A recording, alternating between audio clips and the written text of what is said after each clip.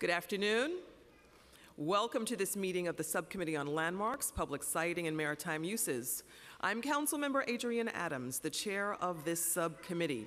We're joined today by Council Members Koo and Chin. Today, we will be hearing preconsidered LU, Haven Green Senior Housing, an application submitted by the New York City Department of Housing Preservation and Development for development of a site in the Little Italy neighborhood of Manhattan in Councilmember Margaret Chin's district, which is the only site in Community Board 2 currently controlled by HPD. Specifically, the application is for disposition of city-owned property at 199-207 Elizabeth Street, Mott Street, Block 493, Lot 30, and sale of this disposition area to the project sponsor. This application presents us with the difficult process of balancing two of the most critical issues currently facing our city the need to balance access to green space and access to affordable housing for our most vulnerable populations. All members of this subcommittee and the City Council are aware of the complexity involved when dealing with these issues and look forward to hearing testimony from advocates of both sides. The approvals that HPD is seeking would facilitate the development of a new seven story building with 123 LGBTQ friendly affordable units for seniors, approximately 6,700 square feet of public open space, nonprofit office space, a community room, and storefront commercial space. Haven Green will offer on site supportive services to all building residents in partnership with Riseboro, Sage NYC, and Habitat for Humanity NYC. Before I call on HPD and the development team to testify on this application, I would like to invite Council Member Chin to provide remarks. Thank you, Chair Adam. Thank you for providing me with an opportunity to speak about this land use application in my council district. The path to this hearing has been a long one. For decades, this site in Little Italy has been promised as the future home of affordable housing. With this application, I believe our city is finally delivering on that promise. This project will create over 100 units of deeply affordable housing for elderly New Yorkers including members of our city's LGBTQ community and the formerly homeless. Will it will also create permanent green space that I hope will be mapped as city park land under the management of the Parks Department. Almost every day, I hear from seniors who are struggling to get by. It may be hard for some of us to imagine what it's like to worry about where you are going to live next year, next month, or even next week. But that is the reality for tens of thousands of New Yorkers. These New Yorkers might not be able to afford to hire lobbyists or consultants to create sleek marketing campaigns or recruit celebrities to their cause.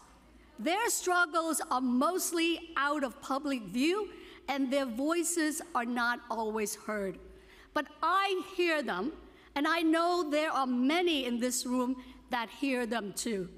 Opponents of this project holds a passionate point of view regarding the future of this site.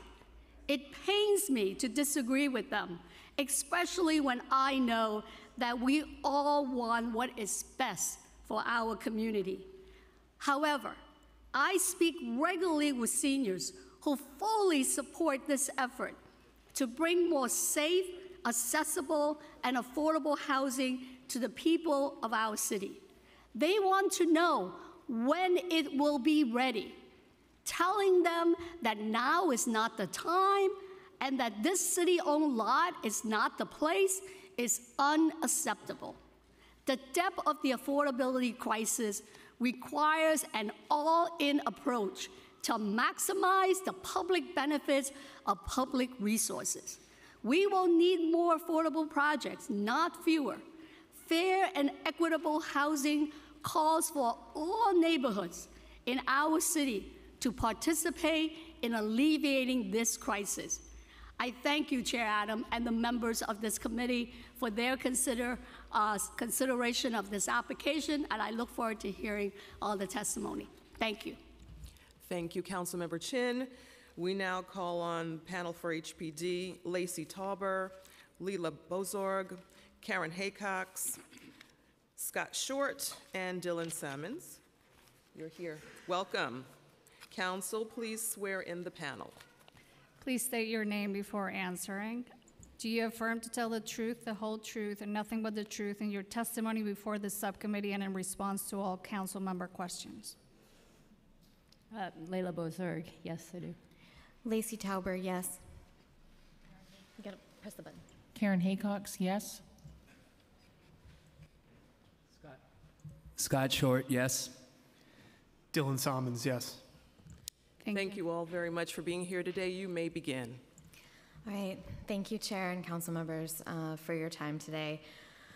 So, uh, this land use application is related to um, an urban land use uh, review process, a ULURP application seeking an Article 11 disposition approval for a city-owned lot located at 199 to 207 Elizabeth Street in Manhattan Council District 2 for a project known as Haven Green. The Haven Green site is composed of several lots that were acquired by the city through deed and condemnation between 1853 and 1930. In 1991, prior to HPD assuming management jurisdiction of the property, the Department of Citywide Administrative Services, DCAS, leased the property to a neighboring property owner on a month to month basis. This lease allowed that tenant to use the property for any as of right use, including storing sculptures. The lease stipulated that the tenant must vacate the property upon 30 days written notice from the city. DCAS transferred jurisdiction of the property to HPD in 2018. Given the tremendous need for affordable housing in core Manhattan and the extremely limited number of public sites, the city made a commitment to develop affordable housing on this site in 2012 as part of an agreement regarding the Seward Park Essex Crossing development in the Lower East Side. HPD issued the Mott Elizabeth Streets RFP, the RFP, in September 2016. It required that respondents propose a high quality, mixed use, affordable housing development to include affordable senior housing, quality commercial and or community facility uses, and a creative design to ensure at least 5,000 square feet of publicly accessible open space that would be reserved for community use. The RFP also noted that the site is located in the Special Little, Little Italy District, or the SLID, which was established in 1977 with the goals of preserving and strengthening the historic and cultural character of the community. The selected development team, which includes Penrose, Riseboro, and Habitat for Humanity, submitted a proposal that met these requirements, complied with the terms of the SLID, and exceeded the minimum open space requirement by including 8,400 square feet of publicly accessible open space, including 6,700 square feet open to the sky and 1,700 square feet of covered entryway. The project will be developed under HPD's Senior Affordable Rental Apartments, or SARA program, and is deeply affordable, targeting seniors with incomes from 30 to 60 percent of the area median income, AMI, which amounts to an annual income of approximately 21,930 to $43,860 for an individual based on 2018 AMI levels. As is customary, HPD and the developer will enter into a regulatory agreement to memorialize the project's affordability and other restrictions. The regulatory agreement will have a 60 year term and will require that all units will be rent stabilized even after the regulatory agreement expires. 30% of the units will be set aside for homeless seniors referred by the Department of Homeless Services, DHS. The newly constructed building will be seven stories tall with 123 age friendly studio apartments and on site supportive services. Resident amenities will include laundry facilities, an exercise room, computer room, common room, an outdoor landscape terrace, and supportive services offices with LGBT friendly senior services to be provided to residents and the community by SAGE. The building also includes community facility space for Habitat for Humanity and ground floor retail. Haven Green will be built to Passive House standards, which is the gold standard in energy and resource efficient building design. The project will include publicly accessible open space to be, to be maintained in perpetuity through restrictions included in the property disposition agreements and in the regulatory agreement. These restrictions will run with the land. The open space will be designed based on input that the Haven Green Development Team collected through their public engagement process. The team engaged community members, gardeners, and other local stakeholders in a series of participatory design sessions to obtain public input on the activities, design elements, and character of the space with the goal of creating a high quality open space that is grounded in community input and meets community needs. The Haven Green Project will be an LGBTQ friendly senior development and a welcome home for many seniors who have been waiting years to have the opportunity to apply for an affordable housing unit. Therefore, HPD is before the Council seeking approval of this land use action to facilitate the development of a multi use development called Haven Green to provide much needed affordable housing for seniors. And I'll turn it over to the development team to walk you through their presentation. Thank you, Lacey. Thank you, members of council and the subcommittee for having us here today to hear about Haven Green.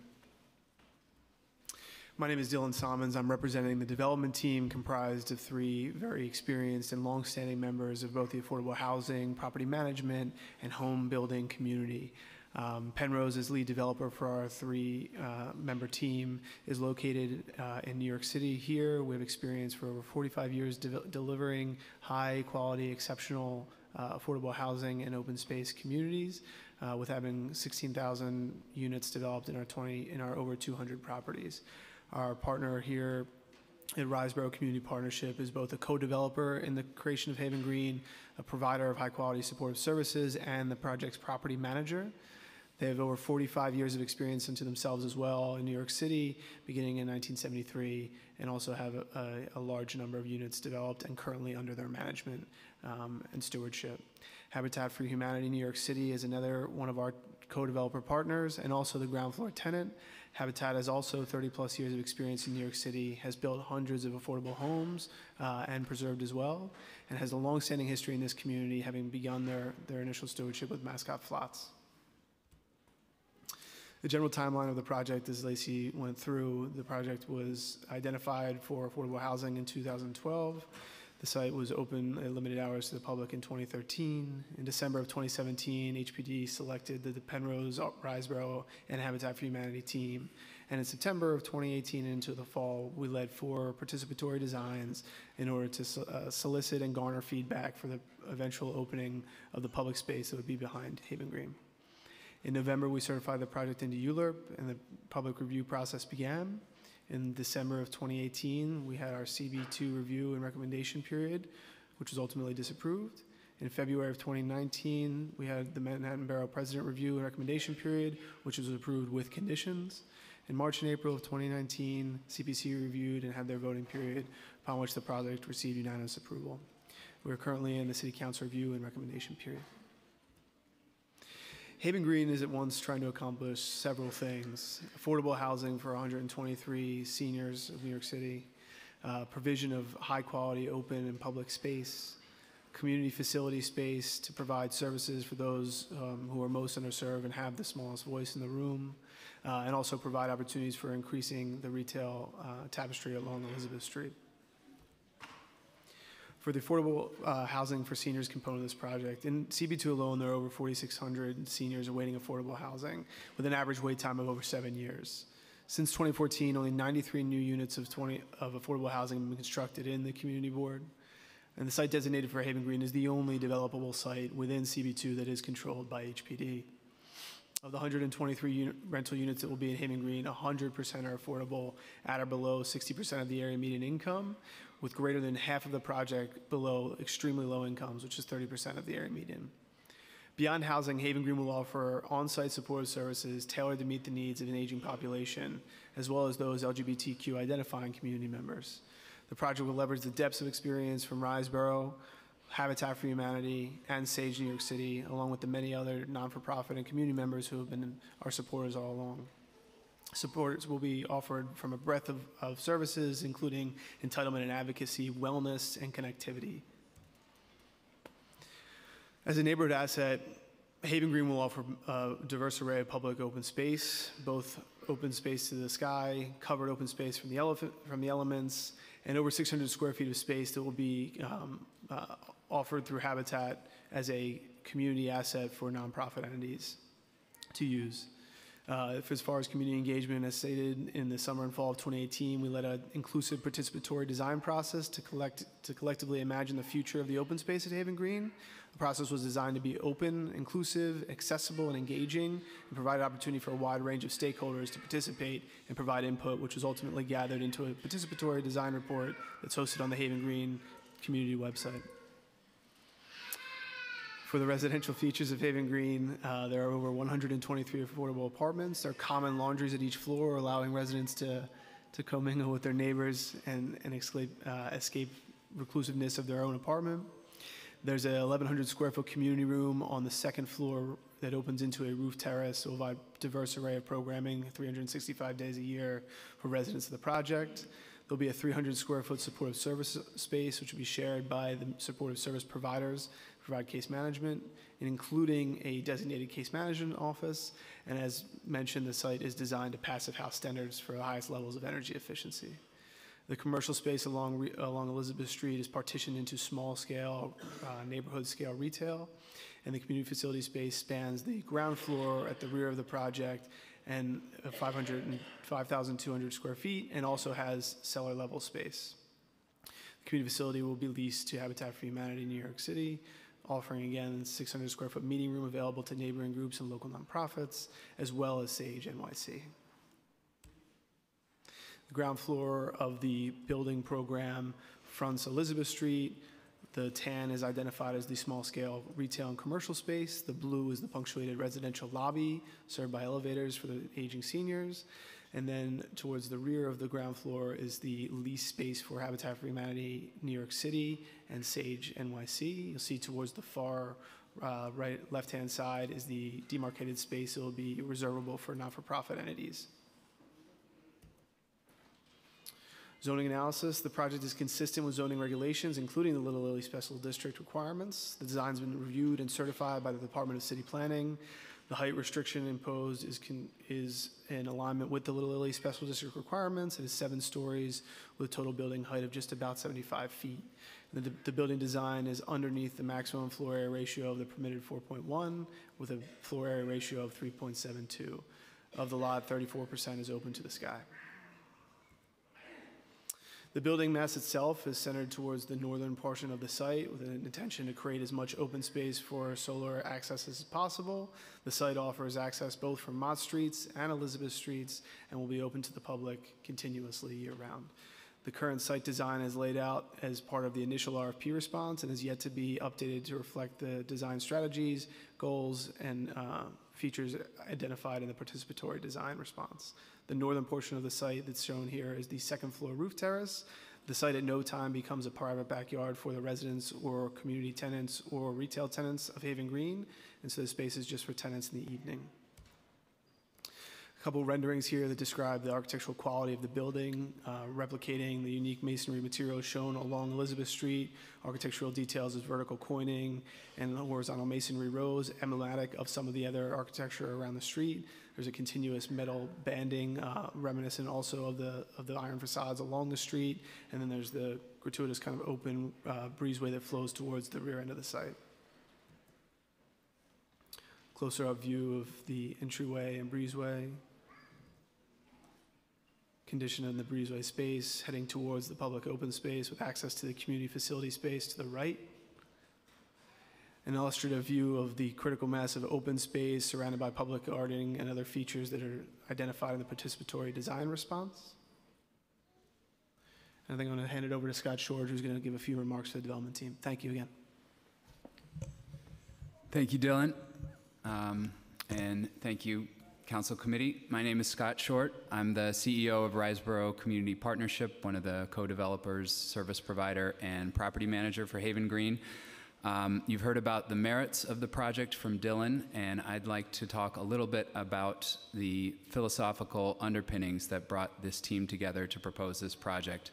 Um, and those revolve around equity and fairness. Equity and fairness are two big concepts. Equity and fairness are two big concepts that the development team believes in deeply, and I know that belief is shared by everyone on this committee. We believe in it because we see the disparity all around us in this city. We see the growing homeless population. We see kids falling behind in low income neighborhoods. We see longtime residents being displaced. We see seniors forced out of the communities that they helped build, and we want to do something about it. I admire all the steps that this city council has taken to change laws and create new resources to make this city a fairer and more equitable place. The Haven Green Project builds on the legacy that the council has established in promoting these essential ideals. It's rare that you get the opportunity to approve a single project that so clearly advances the principles of equity and fairness. To be able to build housing for some of our poorest, oldest, most vulnerable citizens in one of the wealthiest and most privileged communities in the entire city, while offering publicly accessible open space back to that community as part of the project, is a chance that does not come around very often. I urge you to take advantage of this unique opportunity to advance equity and fairness in our city and vote to approve Haven Green. Thank you.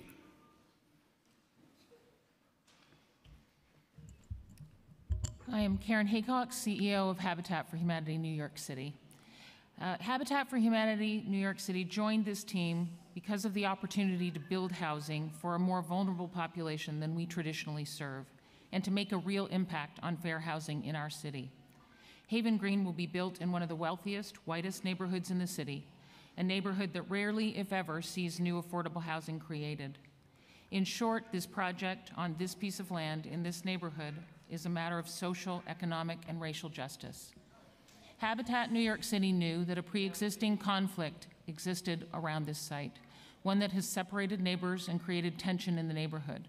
We empathize with those who feel passionately about the current space, though through our participatory design and ongoing community engagement efforts, we have sought to hear residents and consider their thoughts and opinions.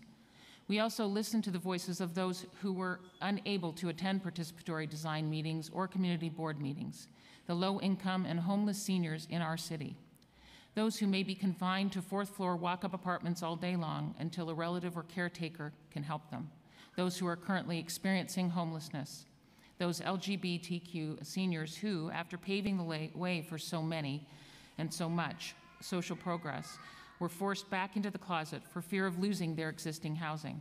Those voices are loud too.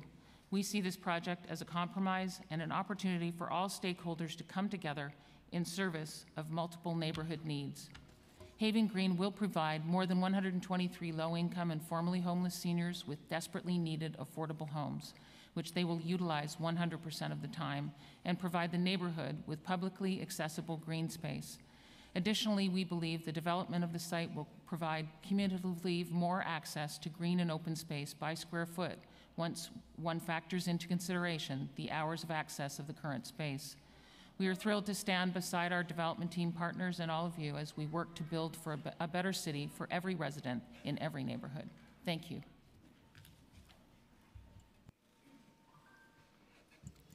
Thank you very much for your testimony today. Thank you for being here once again, uh, panel. I do have a few questions for you. What will the hours of operation for the public space be?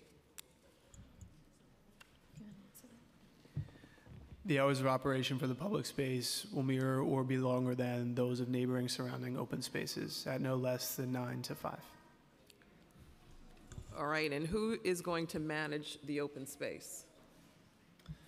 Uh, Riseboro Community Partnership, as the property manager, will uh, be primarily responsible for the management, but we envision bringing in uh, interested parties from all the community engagement that we've done to help participate in, in the planning, design, and ultimate, ultimate maintenance of that space.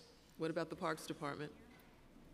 We, we can speak to that, actually. Yeah, so I can speak to that a little bit. Um, I think there are uh, a couple uh, issues with working with parks that, you know, we've, we've been in active conversations with them about the possibilities of involvement here. Um, and we think um, that having the development team be the one that manages the space is really the best outcome for a couple of reasons. Um, one, they've done this really extensive outreach process, you know, with the community. They've heard a lot of input about what uh, folks want to see happen in this space, and so they're really well positioned to make sure that the design uh, really reflects that community input. And then, secondly, in our conversations with parks, um, we've heard that with the resources available to them um, at this time, they're really only able to commit to what they call a roving crew of maintenance, um, which may not be as regular as uh, you know what the development team is able to provide, since they're on site and really more able to respond to issues in real time.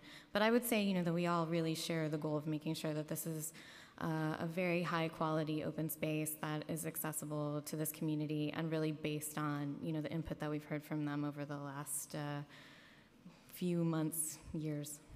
And I'll also just add to that that it's really through our financing that we can ensure that the proper financing is in place for long-term maintenance of the park. And we also have uh, legal tools in place that we'll, we'll be employing to ensure that um, it is publicly accessible in perpetuity. Um, so having the development team do it does enable us to bring more resources to, to bear to the management um, than, than we know might be available to parks. Um, and we have a way of actually enforcing that for the long term rather than leaving it up to um, kind of the, the status of the, um, the city's avail- availability to finance it. We can actually ensure now, when we're financing it, that the financing is in place to manage and operate it for the very long term.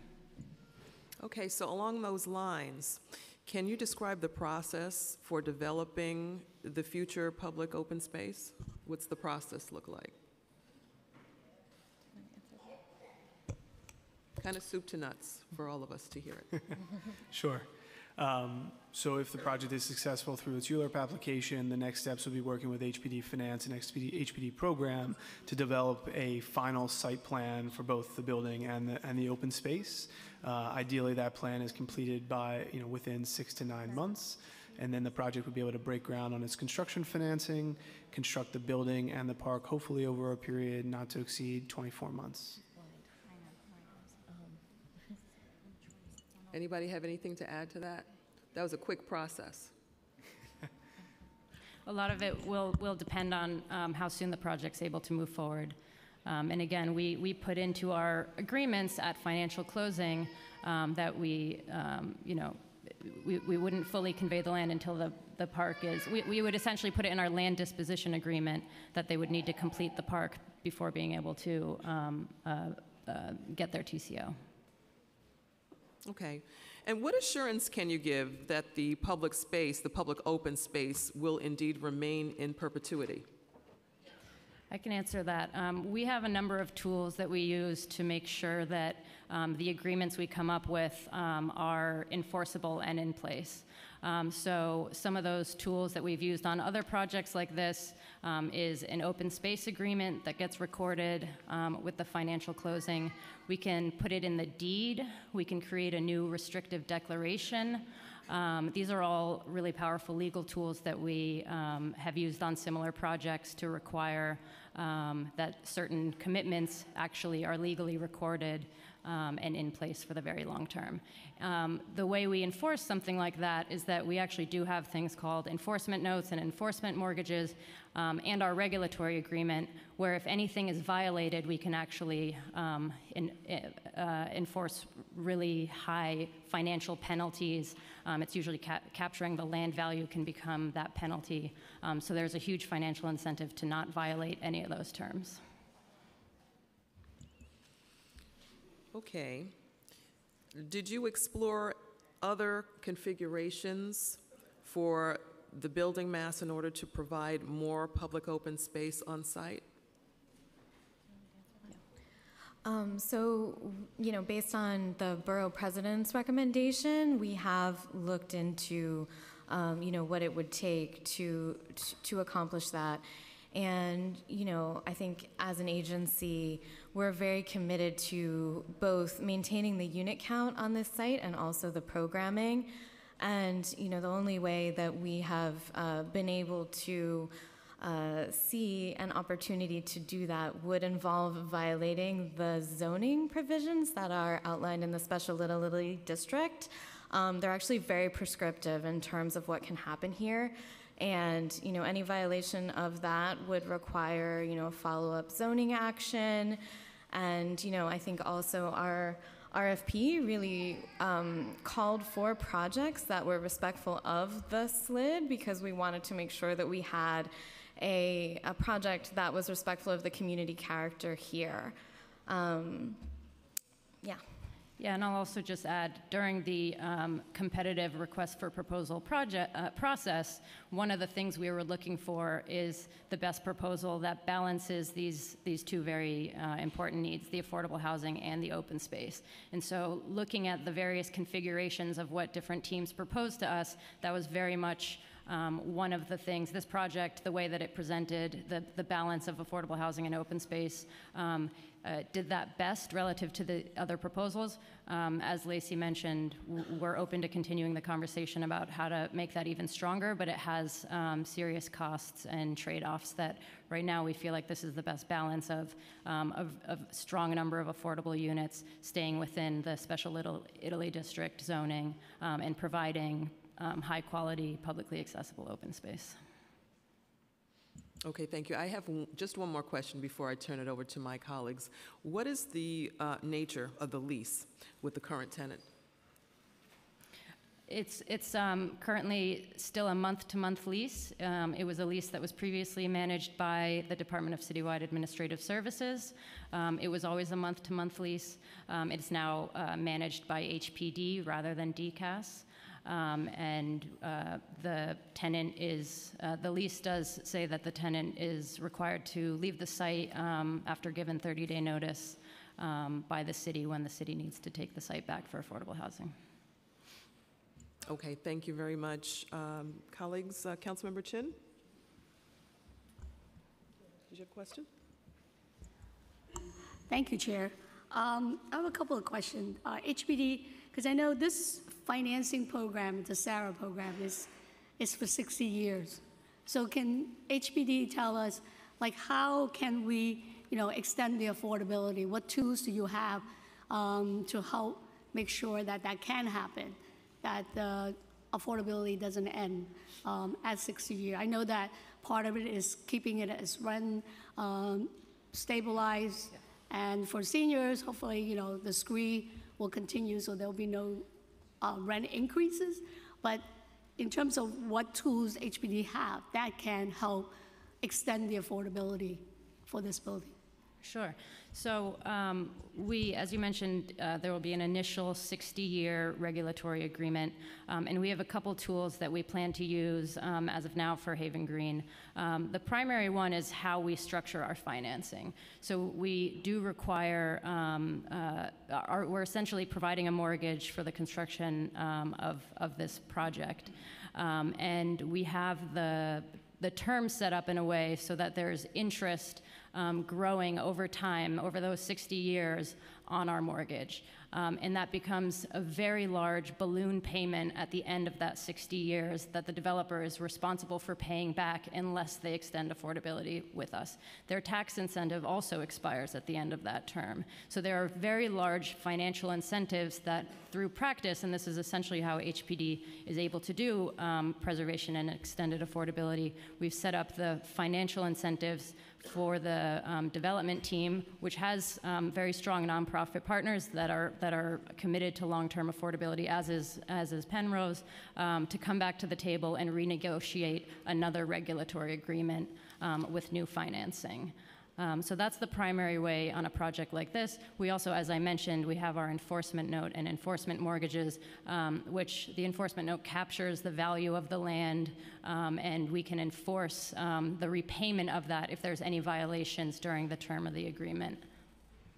Um, The other uh, part of the plan, there is going to be uh, four retail units. Uh, Can you talk about, does the retail units affects um, the financing of the affordable senior housing? Do you want to talk to Sure. So part of the strategy for achieving very low levels of affordability, very deep levels of affordability, I should say, is leveraging the income generation of the retail value of those those four spaces. So we intend to market them to market rate paying retail tenants. We intend to use that market rate income at its high levels to pay down a larger project-wide mortgage to finance the project rather than relying on the rent of the low-income units. But I guess at, the same time, we are losing a lot of, you know, mom and pop stores, um, neighborhood retails, um, affordable grocery store. I don't think you could find a shoe repair shop um, in that area. Uh, so, are you looking at, you know, maybe working to make sure that small businesses, neighborhood businesses have an opportunity there um, to also be able to operate a business? So that it's not, I don't want to see any more, you know, luxury boutiques and all those things that are in there now. We are absolutely committed to working with HPD to come up with a structure of financing that could balance, you know, the burden on rental income from the residential and the you know, desired need for a diverse amount of retail at the front. Now, in your presentation on the page that says ground floor blocking plan, you have the community facility. So that community facility actually opens up to the public open space? So the rear of the community facility, I don't know if I have a cursor, yeah. This rear space here is a double door that actually leads into this, you know, effective meeting room or boardroom. The idea is that, and this is the space that Habitat for Humanity will administer together with local nonprofits. If the opportunity is available for that space to spill out into the grounds for events, that's available there. Uh, otherwise, the intention would be that this is used by the tenant, which is Habitat for Humanity, as their boardroom space. But I think that's a, another opportunity we want to look at in terms of, you know, increasing more public open space that that could be because it o- extends out into the, the green space, the garden, and then that could be something that you can have some programming during the day, especially when it's raining or when it's cold. Um, so let's talk about that um, in terms of having more public access to Understood. part of that space. Thank you, Chair. Thank you, Councilmember Chin. Councilmember Koo? Oh, Before Councilmember Ch- Koo, I understand that we may have uh, two people that might want to be added to this panel. Your architect, uh, Mr. Jordan, and uh, David Vincent from Sage. Would you like to come up and join this panel for questions? I think we would have them join if there's questions that they need to answer relative to the designs. um, Okay, yeah. thank you. We'll we'll continue then. Councilmember Koo? Is that right? Hi, um, can you explain uh, to the public uh, what is a month-to-month lease? Uh, How can you terminate a month-to-month lease? Um, uh, We have the, because it's not a long-term lease, um, and it's, it's month to month, we have the ability at the um, end of any month to decide not to renew it for the next month. We'd need to give a 30-day notice to say that we do not intend to renew the lease, um, at which time um, the the tenant is required to uh, vacate the site and plan for vaca- uh, vacating the site. So uh, you just need to give them 30-day notice, According to the current lease. yeah?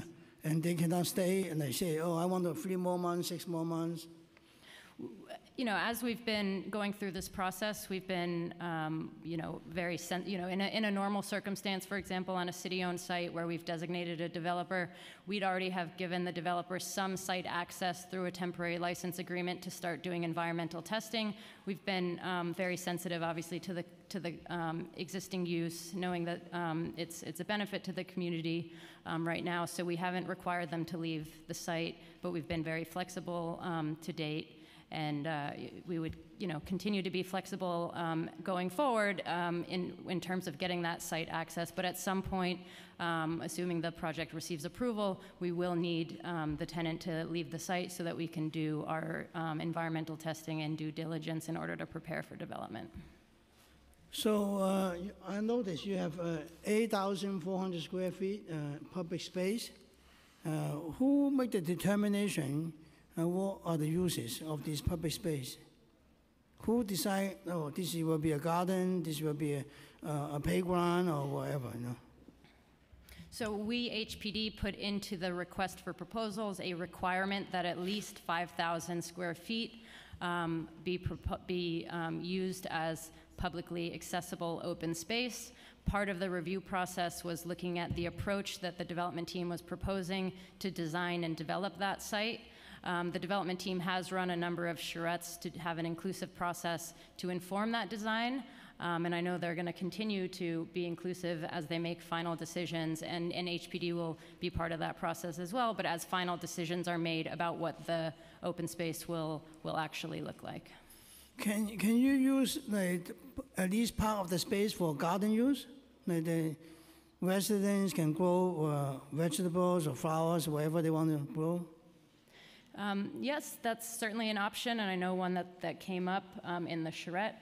Um, I will also add that that's actually one of the benefits of having um, the development team manage the open space because um, most park department, um, most parks operated and managed by the Parks Department do not actually allow for community gardening um, unless they're um, specifically for that use through the Green Thumbs program, for example. So that is one of the benefits too of having the development team manage the site is that we can be flexible in determining the final uses of the open space. Because it's very popular now. You know, A lot of buildings have the, the rooftop gardens or, or some kind of gardens for residents to grow their own li- you know, vegetables or flowers. Uh, this, uh, uh, my next question is: this this building has no parking, right? Correct, there is no parking at the No, building. not even one parking space. Correct. We have bike parking in the cellar. Huh? So how do you handle the commercial deliveries, Street front loading. street front loading? Uh, so uh, this is very strange. You know, they have no parking at all. No, nor do many of the spaces along Elizabeth Street have dedicated parking. All right, okay.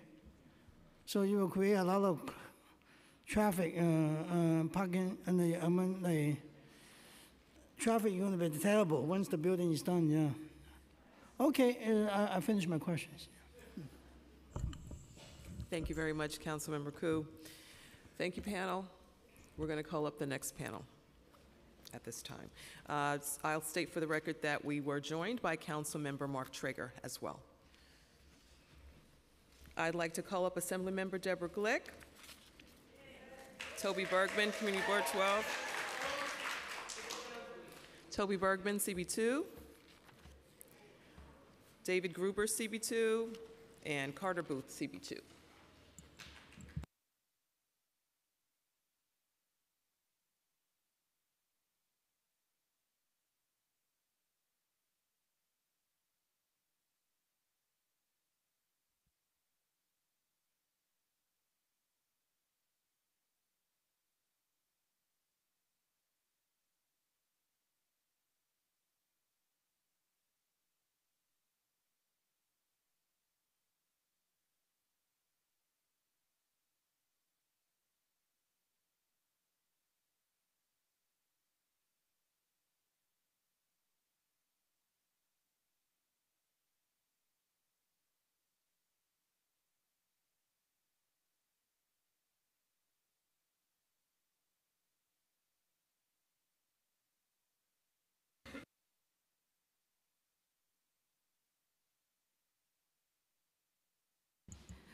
Just before I begin, um, I came from a rent regulation hearing across the way, and um, my colleague Yuh-Line Niu uh, is on the Housing Committee, and so that's why she is, uh, she is still there, and she will um, probably have staff uh, deliver some testimony later on. She's definitely stuck. Come on up.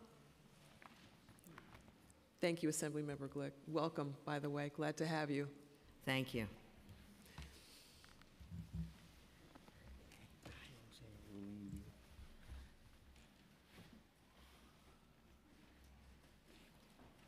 All right, you may begin. Uh, Thank you very much for the opportunity to testify before you today regarding the Elizabeth Street Garden Uniform Land Use Review uh, pro- Procedure application for the disposition of city-owned land at Elizabeth Street Garden site in order to construct the proposed Haven Green development. And This is a difficult and complicated ULURP. The Haven Green development is a prime example of the need for the City Council and this administration to have a more transparent and understanding approach to the needs of a community. In this instance, the proposed destruction of the Elizabeth Street Garden, despite affordable housing being a public benefit, uh, is emblematic of the constant pernicious way in which the city pits two scarce resources, like affordable housing and open space, against each other. It is disappointing to me. It is disappointing to me that residents are asked to choose between critically needed affordable housing and vital open public space. These two elements are essential for the quality of life in our increasingly dense city. This administration has spoken at length about affordable housing and affordable communities. However, the concept of livable communities is often lost in the equation in favor of pursuing other public policy goals where, uh, wherever feasible, even when more appropriate and robust opportunities exist elsewhere or have been offered by the community. This is what has happened here with Elizabeth Street Garden. Lower Manhattan, and particularly Community Board 2, has one of the lowest ratios of open space to population and is frequently forced to fight to maintain the little space they do have. Affordable housing is desperately needed in the city, and we all know that. While efforts to develop affordable apartments are important, sacrificing a beloved community space where there is an available alternative site that has not been fully explored is doing a disservice to the greater community. While there are basic land use questions surrounding this application, the merits of the ethical question that our city faces in this particular ULURP remain apparent. In the case of Elizabeth Street Garden, if the community uses a space as a park, it has all the characteristics of a park, and there is a grassroots-based effort to preserve it for the quality seen in similarly other open spaces, it is then effectively a park.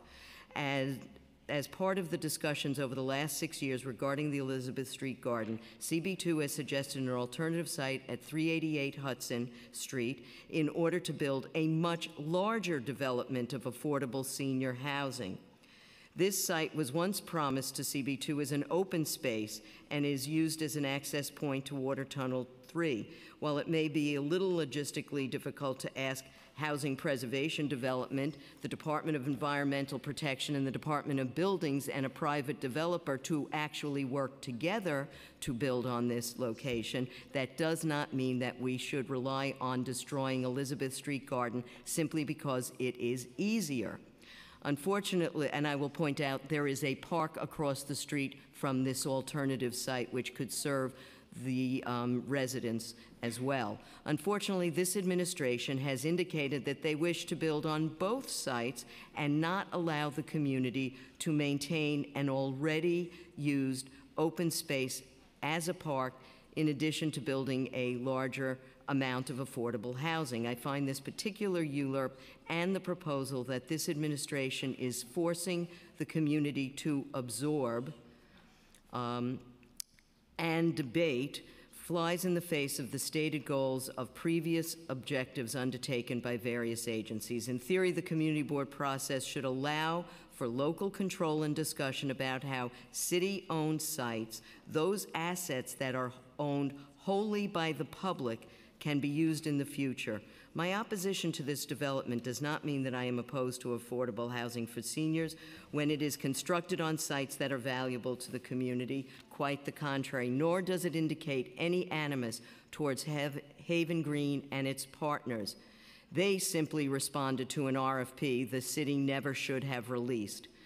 As it happens, I'm simply forced to oppose communities being forced to decide how to dispose of their necessary public assets when presented with false choices surrounding communities. I will point out, I will point out in another uh, community not far away, a parking lot that was designated for affordable housing was subsequently turned into a park. This is a park.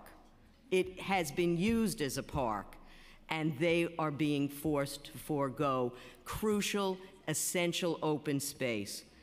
Uh, it is a false choice. There is another better site. Thank you very much, and I urge the City Council Subcommittee on Landmarks, Public Siting, and Maritime Uses to deny this application. Thank you very much. Thank you for your testimony, Assemblymember. Appreciate you being here. Assemblymember Niu? Uh -uh. Uh, thank you for the opportunity to speak on the proposed plans for Elizabeth Street Garden. My name is Lawrence Hong, Chief of Staff for Assemblymember Yuh-Line Niu, who serves as the Assembly Member for the 65th District, which is home to the Elizabeth Street Garden. I will be delivering the member statement on her behalf. Following the demolition of a public school, the derelict lot was overrun with weeds and covered in debris. Our community poured countless hours into creating new open space. There was no direction from the city in developing the garden to what it is today. I wanted to make uh, I wanted to make it very clear that Elizabeth Street Garden is what it is today because our community sta- stepped up when the city would not.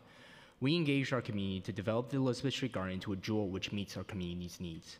As a member of the Committee on Housing, I recognize the need for low income and affordable housing in New York. There is an Assembly Committee on Housing hearing on rent law set to expire in June that the members presiding over as we speak. I have fought for critical funding in our housing system and affordability in our community. I have also stood with advocates and other elected officials to defend against privatization of public space on all fronts, such as NYCHA housing, public facilities like Rivington House, green spaces, and open space. I firmly believe public land should remain public and require ample public input prior to any change in usage. When public land becomes privatized, it rarely, if ever, returns to the public.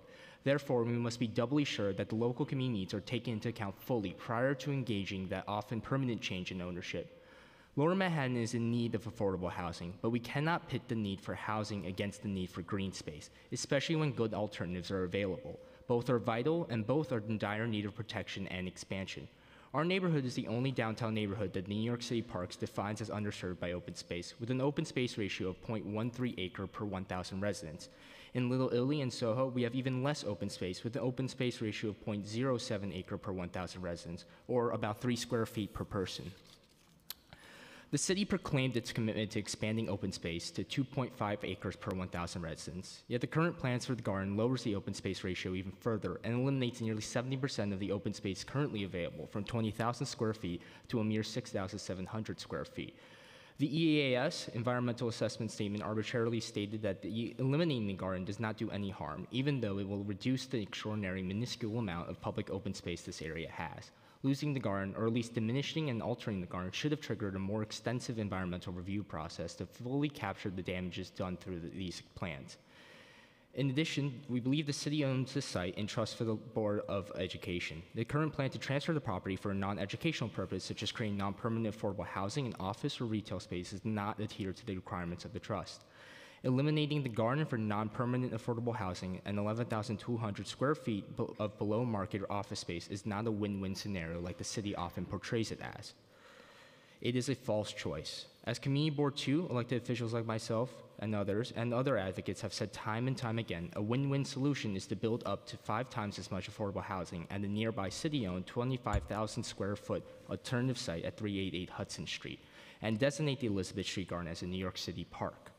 Choosing this solution would not set a precedent. In fact, the mayor supported similar re- real win win solutions in Chelsea, where the city is creating a new park on West 20th and building more housing on the larger city owned site nearby the park. We should be discussing a real win win solution and creating plans for truly affordable, permanently affordable housing while supporting the garden's operations in our community. In face of the overwhelming support from Community Board 2, other elected officials, and community residents, I urge the City Council to vote nay on this proposal and to seek out a solution that can match all of our community's needs. Thank you. Thank you very much for your testimony. Community Board 2 members? Hello and good afternoon. Thank you for the opportunity to speak. My name is Carter Booth. I'm the chair of Community Board 2 Manhattan. CB2 has been working to preserve the entirety of Elizabeth Street Garden for many years. Thousands of people support Elizabeth Street Garden, and most of our elected officials have specifically identified and support saving and preserving Elizabeth Street Garden in its entirety.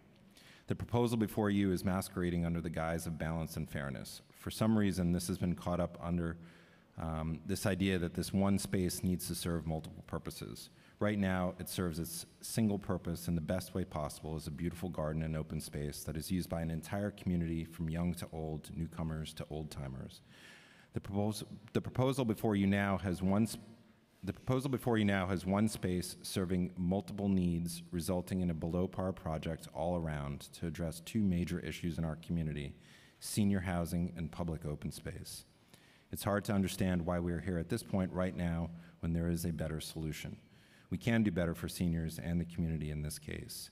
You will hear this again today. The solution is a balanced solution, balanced a balanced solution across district lines, which allows for preserving the gem, which is the Elizabeth Street Garden in its entirety, and creating a significant larger amount of senior housing on an alternative site on Hudson Street, also owned by the city and which is located within CB2.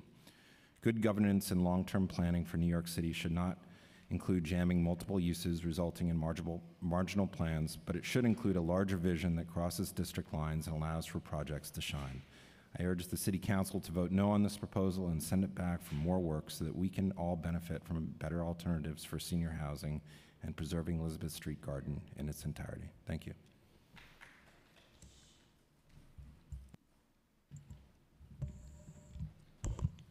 Hello and good afternoon. I am David Gruber, the past chair of CB2 and the current chair of the CB2 Elizabeth Street Garden Task Force. The community board has been trying to save Elizabeth Street Garden for over five years now. It's not a storage facility of, of old stone building parts or a park that's mostly for new millennials, uh, as some have said, but a vibrant park used by all residents of our community teens, young families, seniors from Chinatown, from Soho, from Tribeca, from the adjoining Section 8 housing. It's programmed all year long, and the summer movie nights, the Halloween harvest festivals, the free community barbecues are attended by thousands. And Elizabeth Street Garden is always listed as one of New York's 10 most beautiful and unique parks. I'm not saying it's an equivalent to Penn Station at all, but there will be buyer's regrets in a sense of what did we do and what were we thinking if this park is largely destroyed? We have over the years tried to engage and meet with our city council member to work out a win win site swap, just like the mayor, and people have referred to it just earlier, just like the mayor and Speaker Johnson did in Chelsea. And what the mayor says is an example of win win governance. We have identified a site that can, in fact, be built with far more FAR possibilities outside the landmark district, but within the boundaries of CB2, which would mean that the residents of CB2 who get 50% uh, uh, priority have a much better chance of landing a unit. We have offered other pathway ideas that could be pursued, but nothing has gained traction. It's not a NIMBY uh, community board. We have 178 units coming up on 350 on 550 Hudson Street. And we, when we rezoned Hudson Square, a huge swath, we made sure that there was an incentive for affordable housing. Some 6,000 people have identified themselves as friends of Elizabeth Street Garden, and almost 10,000 are on the mailing list. Wouldn't you, as city council people, um, uh, how would you react uh, and consider other possibilities if that many people spoke out in unison in your district? Our three public forums were attended by some 800 people. We know the city council almost always block votes behind the issue council person. But let this hearing not be just going through the motions of a pre-decided exercise, but a real hearing. I call on the city council not so much to vote no, but to vote to return the ESG, Elizabeth Street Garden issue, back to the council to work out, like the mayor and the speaker did in Chelsea, a good, good governance solution. Thank you. Afternoon. Good afternoon. I'm Tobi Bergman. Uh, I'm a member of uh, Community Board 2. I'm also a past chair of Community Board 2. Uh, I'd like uh, the, I think we all understand uh, the deference the council has to its local members for uh, largely local issues. but there's also a reason why ULURP ends with the council. Uh, and that's because uh, sometimes there's a need for a larger view, particularly when there's a, an issue that's generated a lot of conflict in the community. So just one person really should not be making the decision. And it's a time to not show that deference. It's not a matter of not showing deference, it's a matter of being the council uh, council for all New Yorkers. Uh, I think if you look carefully at the Community Board 2's resolution, you'll see that we did oppose this project, but our last clause of our resolve tried to offer a roadmap for a solution here. We think we have a better site. We suggested that site. It's a bigger site. It's a better place. It serves Community Board 2 also. But we also think much better job could have been done on this site, and we think that with a very small reduction of the amount of housing units, uh, this site can provide a much, much better park. Not a perfect park, maybe, but a much better park. That can be done by adding two more floors, altering the, the slid to provide two more floors uh, in in this building. I think something the community would embrace, given the importance of the two competing issues.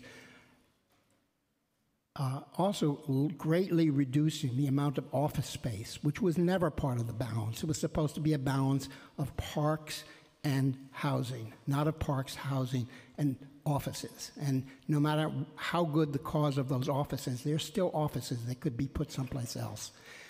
Then there are aspects of the design of the building, like the big pass through, which looks attractive in the beginning, but an, a covered open space is never really an attractive kind of, it's more like a driveway than, than anything else. It more serves the retail uses than anything else.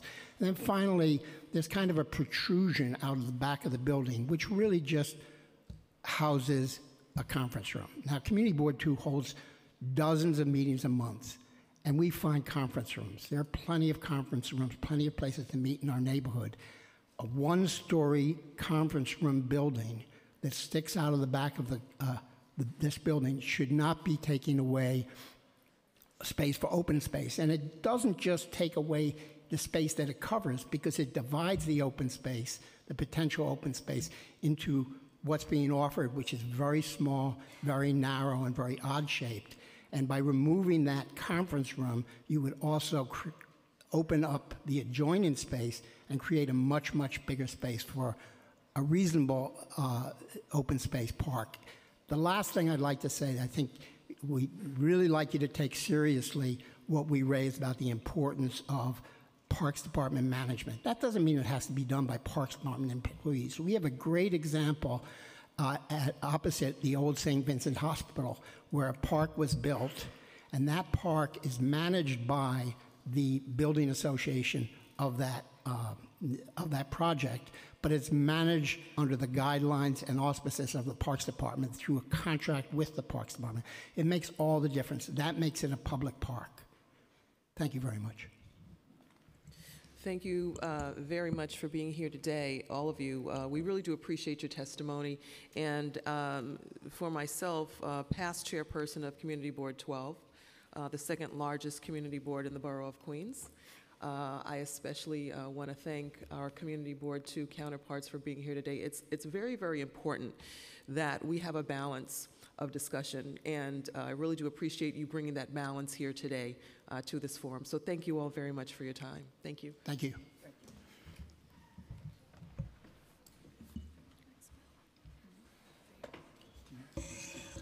Okay, we are going to bring up our next panel. In the interest of time, we are going to have to start a clock of two minutes, or we will be here until midnight. And uh, I know we don't want to do that. So we will call upon Lynn Kelly, Nancy Sanchez, Kay Webster, Valerie Reyes Jimenez, and Marvis Duchek.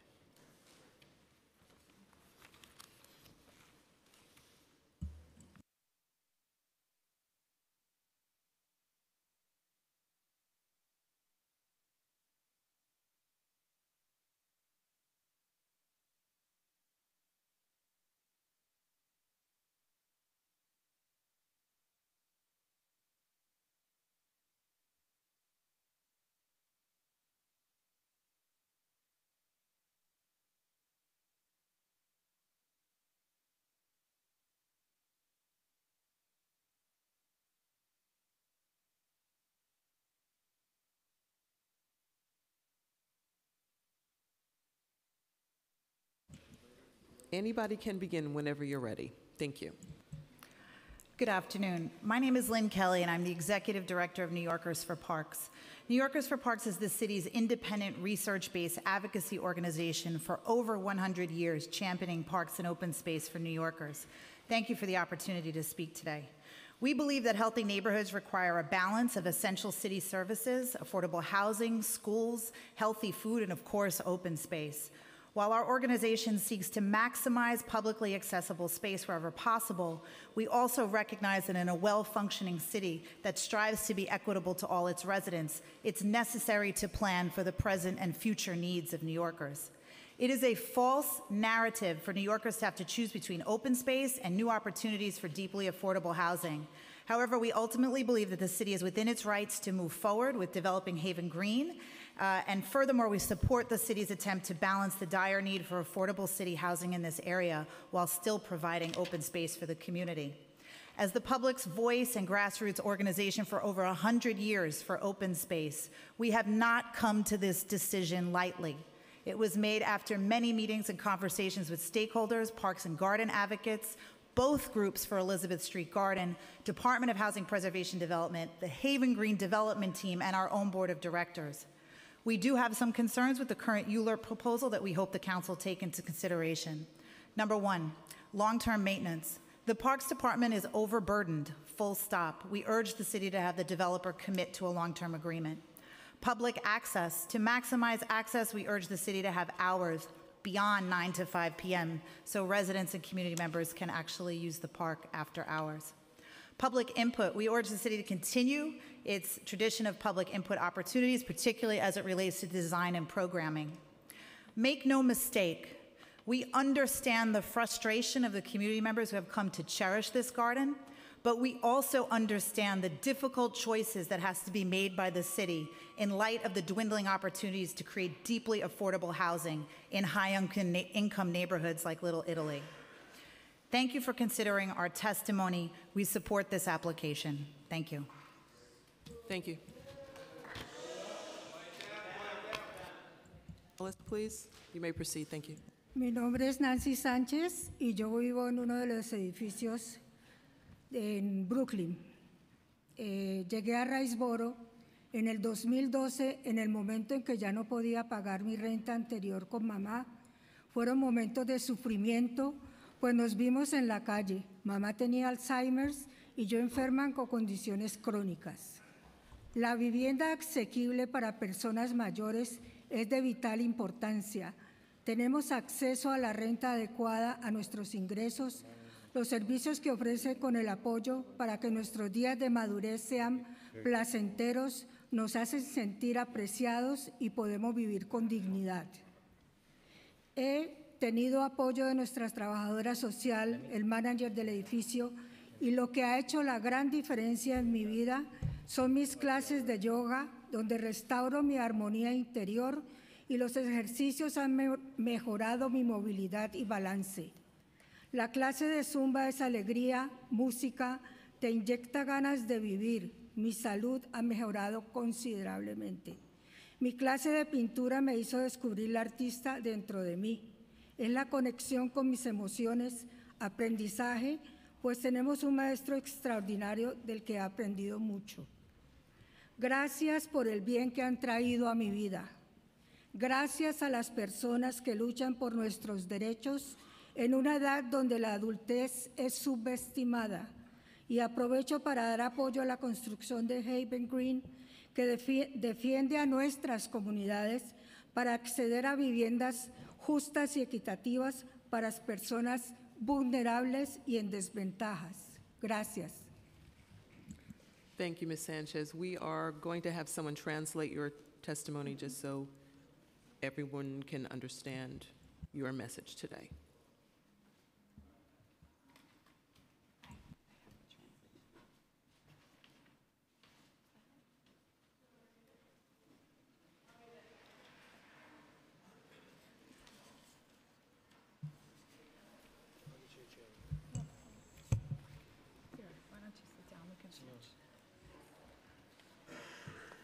Good afternoon. I'll be reading the statement that Nancy Sanchez just presented in English. I arrived at Riseboro in 2012 in the moment when I was no longer able to pay rent for rent with my mother. There were moments of suffering, and we saw each other living in the streets. My mother had Alzheimer's, and I was sick with chronic illness. Senior affordable housing is vital, It allows for seniors to have low cost, accessible rent and on site services that offer support and allows for seniors to age in a way that makes the seniors feel appreciated and dignified. I receive support from the service coordinator and property manager. What has made a big difference in my life are the classes, the yoga classes. They restored my inner harmony. The exercises have improved my mobility and balance. The Zumba classes bring happiness, music, and it fuels my will to live. It has greatly improved my overall health. The painting classes have allowed me to discover my artistic abilities, build a connection with my innermost feelings, and it has furthered my learning. I have an extraordinary teacher. Thank you for all the good that Riseboro has brought into my life. Thank you to the people who fight for our rights at an age where adulthood is underestimated. I'd like to take this opportunity to support the construction of Haven Green. Projects like this help defend our aging communities and allows for access to just and equitable housing for disadvantaged and vulnerable aging people.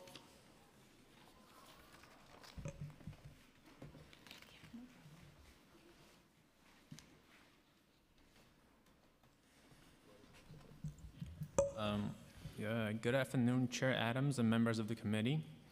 Uh, my name is Mariusz Dujec. I'm a uh, custodian at the Empire State Building, and I have been a member of 32BJ for over uh, six years now.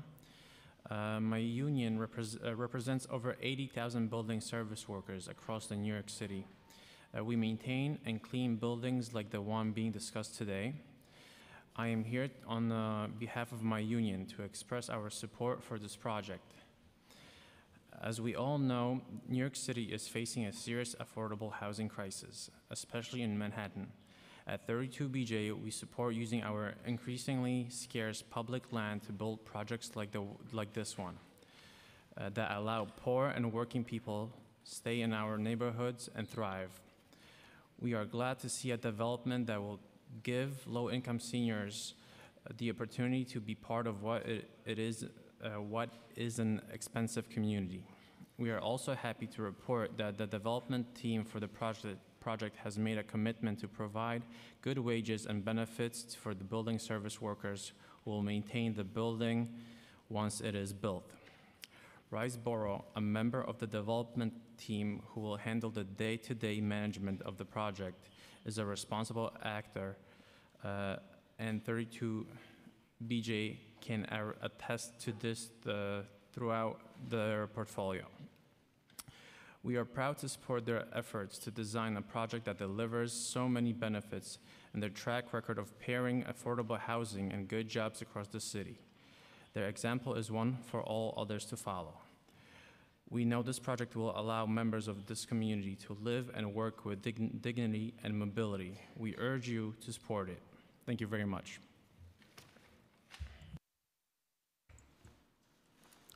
Hi, my name is Valerie Reyes Jimenez, and I'm a community organizer for New York City with Housing Works. Um, I've been a housing advocate for over 25 years. Uh, my testimony is longer than the two minutes, and I would like to submit them in full to this body. And I will just read a portion in the interest of time. Um, I'm a native New Yorker with roots uh, firmly planted in Manhattan. I was born in New York City, as were my children and grandchild. I worked for many years at the Housing Works offices just three blocks away from the Haven Green proposed site, and many of my colleagues still work there. I went to junior high school and high school in Council District 1, and my son learned to sail in the shadows of the Twin Towers. When, uh, when we're young, it's almost next to impossible to imagine oneself as an elderly person. We can think of it in terms of uh, sitting in a rocking chair, growing old with a life partner, and reminiscing of our youth. Our grandparents are old. Not so with the generation, uh, with this generation of grandparents and seniors. I would know. I'm a grandmother of a 16-year-old granddaughter. Um, there are many injustices to people who are poor or black or brown, but the greatest injustice in this society is how the rich get richer and the poor get pushed out of neighborhoods that have been called home for generations. One third of all New Yorkers spend over one half of their income on housing, making it hard to achieve financial stability. Anyone who has lived in New York City all their lives should be able to live in any neighborhood they want and not be beholden to their race, family composition, sexual ori- orientation, age, or income. The question should not be why build here, it should be why not build here. In my experience, some of the most hurtful biases and discrimination I have ever encountered came from people who I considered neighbors and fellows. People who I believe fear that life as they know it, life in their safe, comfortable cocoons, are in jeopardy and will change drastically. People who have said things like, no, this is not going to get built here. No, not in my backyard. I don't want these people here. A public display of discrimination and shaming that goes by the name of NIMBY, not in my backyard. In my mind's eye, having 123 real affordable housing units for seniors versus a community garden really is no contest. You don't have to be a senior or even a homeless person to appreciate the true human value Wrap in up, that. please. Hi, my name is Kay Webster. Uh, Thank you for this chance to testify. Uh, I'm the president of the Sara Roosevelt Park Community Coalition in a park uh, two blocks away from this site. Uh, I help uh, stewards uh, steward park spaces to become community gardens, and I am a community gardener there. I help spearhead the fight for Rivington House, but I am speaking here primarily as a resident of Little Italy. Um, I moved to Bowery and Prince in 1990. When our son arrived in 1999, we sought places that welcomed children. Um, we joined a new parent cooperative housed in Community Board 2's Thompson Street Park House, and when my son went to PS 130, we played daily in the DeSalvio playground. And to our delight, we found Green Thumb's M'Finda Kalunga Community Garden in Sara Roosevelt Park. We did not lack for community gardens, Liz Christy, M'Finda, New Forsyth, and others, and uh, diverse and vibrant outdoor spaces two blocks away. So I specifically want to challenge that notion. What changed in this neighborhood is the influx of many wealthier people. Um, we've endured the losses of neighbors, elders and others, and small businesses. A number of seniors and walk-ups were forced out with high rents or are trapped in walk-ups due to disability. One died of complications from a fire in her fourth floor walk-up very recently. High rents forced out most of the small businesses here that served our practical needs. The bodegas, the boot repair, the copy shop, the grocery store, all owned or operated by people of color. This is a punishing city to grow old in if you're poor. Racism, sexism, uh, gay oppression, and disability make it even more brutal. Um, and we always need more green spaces, we always want more. Um, but I have to say, I don't think these issues are equivalent at all. This is a compromise. It will not be the statuary of the garden luxury marketplace that was open to the public in 2013, only after affordable housing was proposed here, because I've lived here a long time and I know that. Um, I, yeah, I know you wish my time was up, babe. um, I will just say this this is no charitable offer. This is about a chance for an affluent neighborhood to get right in these times. Our city is in deep trouble due to a lack of affordable housing, racism, sexism, gay oppression, and poverty. We don't get to say build Wrap, this please. elsewhere.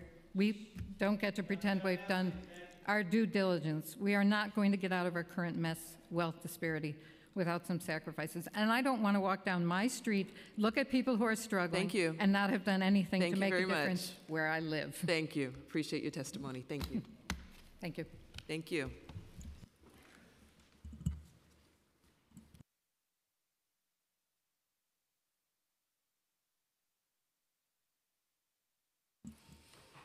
We'll call up the next panel, Joseph Reiver, Kate Kobayashi, Susan Wittenberg, pardon me if I'm not pronouncing your name correctly, I'm going by the writing, Mr. Winters, I think it's Brian or Brian Winters, Michelle Campo. Please step up quickly.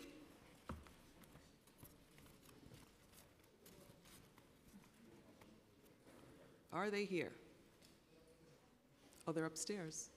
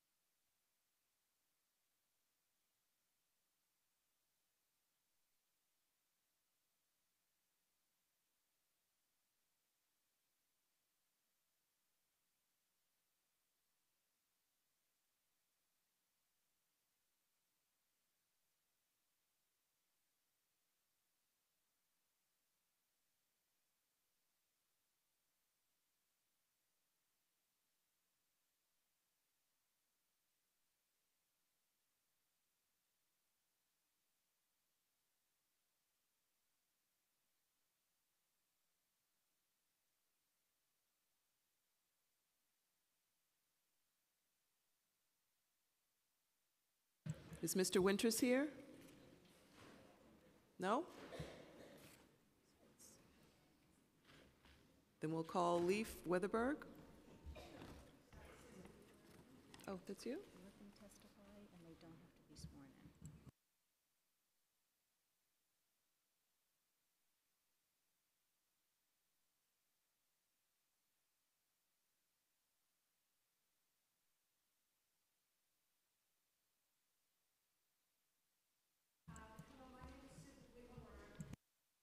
Um, oops, sorry, I'll start again. Hello, everyone. My name is Susan Wittenberg, and I'm a longtime Soho resident, a documentary filmmaker, and a board member on CB2. I'm on the Parks Committee and the Zoning Committee, but I speak as a community member. I'm testifying in opposition to the Haven Green development that will destroy our beloved Elizabeth Street Garden. I'd like to correct a critical misconception. The city is not building housing on every available city owned site. Here are several nearby examples. The city is not building housing in Union Square, it's building a tech center, office space. The city did not build housing at 19 East Houston Street. It sold the site for private office space. In the East Village, the city allowed a de Blasio campaign fundraiser and a New York City EDC board member to demolish a to demolish five walk-up tenements with hundreds of units of affordable housing, with hundreds of units of affordable housing for the 285-room Moxy Hotel. On the Lower East Side, the city lifted the Rivington House deed restriction and allowed a private sale, ignoring the mayor's staff recommendation to use the site for affordable housing. And in 2015, the New York City EDC issued an RFP to develop 137 Centre Street to provide funding for Downtown Community Television Center, Inc., a, no, a, local nonprofit media arts center not for affordable housing. And I say this as a filmmaker, that I thought this was a, a terrible choice. This RFP still remains outstanding, and the site, is, the site also remains another viable alternative for affordable housing. I urge you to vote no on the proposed development and pursue a win-win alternative. Build up to five times as much senior housing at an alternative city-owned site and save Elizabeth Street Garden forever. Thank you.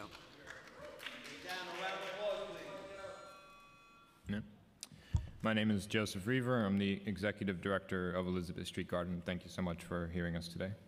Uh, I want to start off by saying it's not a vacant lot and I'm saying that to Margaret Chin over there. Um, it's a community garden, and it's a park, and it's a center for our neighborhood, and it's an outdoor museum. Elizabeth Street Garden is all of these things and more, and it's all managed and contributed to by the people of our community. This isn't a matter of open space, not just a matter of open space. It's a matter of protecting and preserving an iconic and heavily used place. If we're really working to achieve low income housing, then we should achieve five times the amount of, at the alternative 388 Hudson site, or any of the other sites that have been listed here, which Susan also mentioned. The build on both and everything we can mentality doesn't make sense, especially while luxury towers the, like the Extell Tower are going up and remaining empty.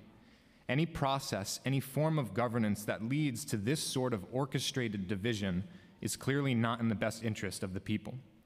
If a community such as ours can garner thousands of supporters of all different ages and backgrounds show up time and time again over the course of six years and still be unjustly discredited, wrongly labeled, and ignored, then how is anyone to believe that our city agencies and these processes are actually working for the people of this city and not the interests of developers or pay to play politics? After all these years of outcry, Councilmember Margaret Chin still has not visited the garden. Perhaps this is the only way she is able to refer to the space as vacant land. The city planning report states the proposed development will improve vacant, underutilized, city owned site that lacks consistent public access. The HPD environmental assessment does everything it can do to avoid addressing the value of the Elizabeth Street garden, and so do the developers. Many of the people making these decisions on this matter have never come to the garden. It's one thing to read about the garden, but it's another thing to entirely experience the garden in person. And before you make this decision on this matter, I urge you, and because it will affect thousands of people, I urge you and I formally ask you as individuals to come to the garden, visit the garden, and meet the community. meet them face to face, and learn why we are all here today and what we're working so hard to protect. So I urge you to vote no against this development. I urge the subcommittee to take Please a hard up. look at the stakes and everything that is at stake here with Elizabeth Street Garden Thank you. because there's no other place like it in Thank New York. Thank you. Thank you. Thanks very much. Next panelist, please. Please proceed. go ahead No. Hi. Michelle Campo, member of uh, Bowery Block Association, Bowery Alliance of Neighbors, and Neighborhoods United. Uh, I want to just add to what I've written by saying that I've heard the deed restrictions in perpetuity mentioned several times with this building, and as we know, in New York City, that's an elusive concept. I am a native New Yorker and 40-year resident on Bowery near Spring Street, a mere two blocks from Elizabeth Street Garden. I have, I have been witness to many changes in my Little Italy neighborhood over the years, both positive and negative. I remember the empty lot behind 21 Spring Street on Elizabeth Street. For years, the city, the city disregarded this city-owned rubble-strewn lot. Of course, the area was not desirable then. Then, several decades ago, a man rented this lot, cleaned it up, planted trees and bushes and flowers, did a lot of hard work. True, this was done for a commercial venture of architectural artifacts and not open to the public very often, but it was an improvement for the neighborhood. When an undisclosed deed was made in CB3 concerning the Essex Crossing development, this land in CB2 was offered up without any notification or discussion to Community Board 2. Now the garden. This beautiful interactive garden, open to and enjoyed by the community, is facing destruction. I suppose we all made it too enticing. This is not an elitist space. It is a truly democratic delight for all. I'm a dedicated housing advocate. I have been a supporter of Habitat for Humanity for many years. I work on housing issues with local residents. Yet there is something about this development which feels not quite right, including the fact that there is another location not far away with zoning which would afford for a larger structure and thus more apartments and more space for residents. Is the sticking point the fact that it is in another council district? Green space is sorely needed in this neighborhood for good health, clean air, education of children, serenity of persons of all ages, among many other factors. I know of no elderly neighborhood resident living in a walk up who would give up this garden for one of its apartments, one of their apartments. Please wrap do up. not destroy the, our lovely garden. Thank you so much. My name is Kate Kobayashi. I've lived on Elizabeth Street for 42 years, and like Michelle, I have seen the many changes uh, in our neighborhood. Some, some welcome, some not. I uh, also have been an advocate for affordable housing and rent control. Um, However, I find this project disingenuous for a group of people who so sorely need places to live that they would, uh, uh, and have options to have a larger space. Who do the developers and people in government who supposedly represent this community think they are fooling? Affordable housing is invoke- invoked to promote as a quick okay, but it is the terming of affordable housing and perpetuity um, is a mockery to this, to this particular site. That said, Elizabeth Street, Garden is an oasis, not only because it's of, of its physical beauty, but it is also the essence of what community should be, where conversations by young and old from all walks of life exchange histories and futures. An oasis not just for the neighborhood, but thousands of tourists who, as well, um, desperately try to find bits and pieces of real New York, which still survive in the midst of shop, the shopping mall that much of New, the city has become. The garden and this neighborhood embodies the spirit of new and old New York. Within a three block area of the garden, one third of the storefronts are continually empty. These spaces are not viable except for tax write offs. but not for a functioning community. This proposed development would only add to the glut. This kind of greed is not sustainable, but the garden is an oasis that does sustain life. Do not let it uh, be destroyed. Thank you so much for your testimony today, panel. You may be excused. We're going to call the next panel at this time. Thank you.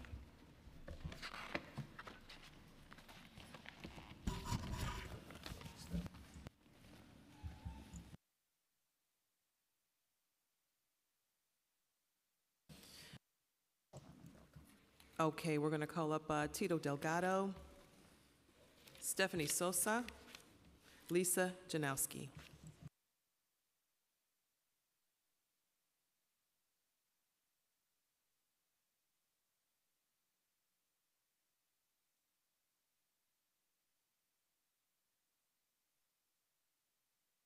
I'd like to acknowledge that we have been joined by Councilmember Barron and Councilmember Miller.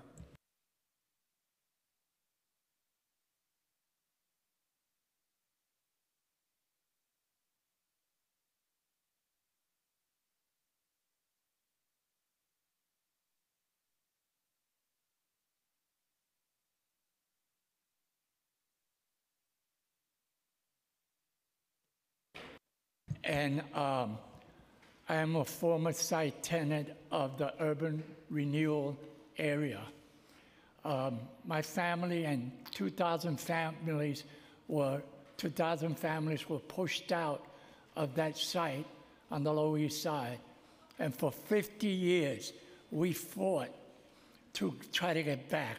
For 50 years we had empty lots there. Um, there was tremendous opposition to any kind of low income or affordable housing there, and very powerful forces, elected officials, fought against any affordability. Ability. Why do I bring that up? The reason I say this is that I'm very familiar what NIMBY looks like. I've been fighting it all my life, and this is not right. You know, you talk about a, a garden like if it was a home. It's not. You know, I, I love parks. I spend time in parks. I don't want to sleep in a park though. And, and, and this is your choice. I mean, I think there's a real compromise here. We can have both, but I don't want to, well, I do understand why there's so much opposition. And unfortunately, it's not very pretty. Thank you.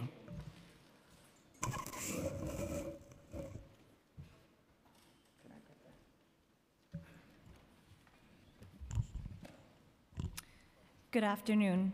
Thank you, Chair Adams and members of the Landmarks Public Siting and Maritime Uses Subcommittee for the opportunity to testify today. My name is Stephanie Sosa, and I am the Senior Associate for Housing Development Policy at the Association for Neighborhood and Housing Development, also known as ANHD. NHD's mission is to advance equitable, flourishing neighborhoods for all New Yorkers. As a coalition of 100 community based affordable housing and equitable economic development organizations in New York City, we work at the intersection of organizing, policy, advocacy, and capacity building. Our extensive network has built over 100,000 units, 120,000 units of affordable housing. NHD supports the development of Haven Green, mission driven led 123 unit affordable housing project for low income seniors. I also want to note that Riseboro is a member of ANHD, and it is their mission to maintain affordability to all of their developments. It is also their mission to adhere and believe in ANHD's missions and commitment to affordable housing.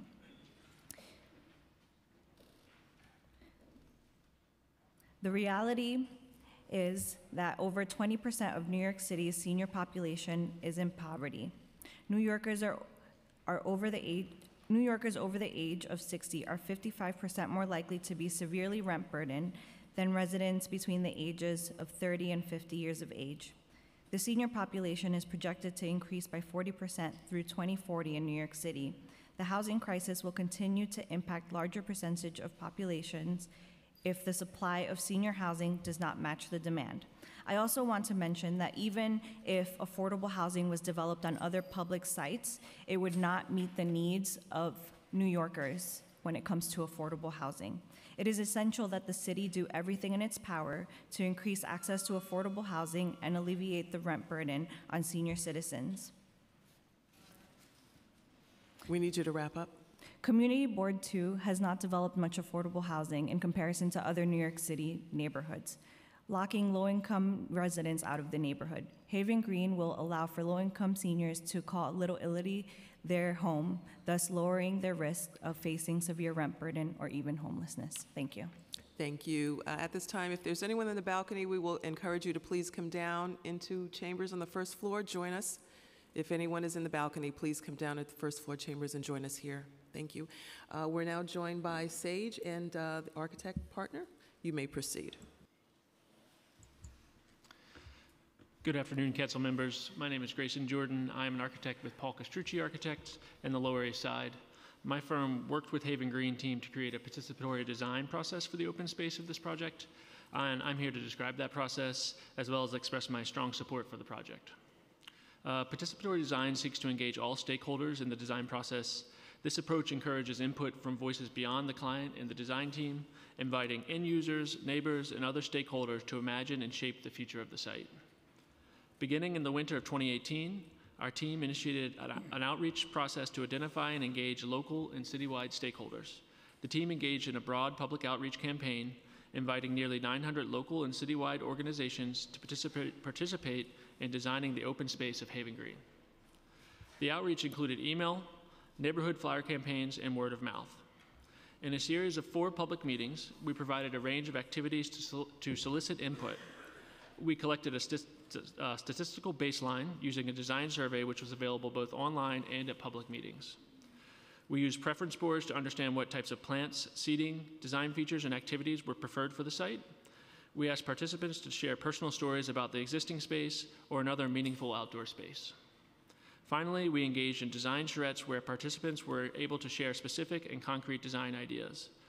Through this process, our participants, participants provided meaningful insight, spirited engagement, and hundreds of unique ideas. Our team carefully recorded, organized, and analyzed the public input, creating a participatory design report that outlines the data collected, and that's the report that you have in your hands, uh, including ideas and thoughts that recurred throughout the process, providing a guiding vision and inspiration for the design of the Haven Green public space. Haven Green seeks a difficult but essential balance, providing urgently needed affordable housing and publicly accessible open space. On the Haven Green project, I have worked with a dedicated team that is committed to achieving both of these goals on this site. I hope that the council will share my support for this project. Thank you. I just have a quick question for you. I'm glad that you brought the uh, material. You spoke about participation. Can you give us a rough estimate of how many participants were involved in this process? Yeah, so the, in the meetings themselves, across the four meetings, there was maybe 120 participants, um, and I think uh, roughly 150 uh, survey uh, participants. Thank you. Good afternoon. My name is David Vincent. I'm the Chief Program Officer with SAGE. SAGE was founded in 1978 and, and is the country's first and largest organization dedicated to improving the lives of LGBT older people.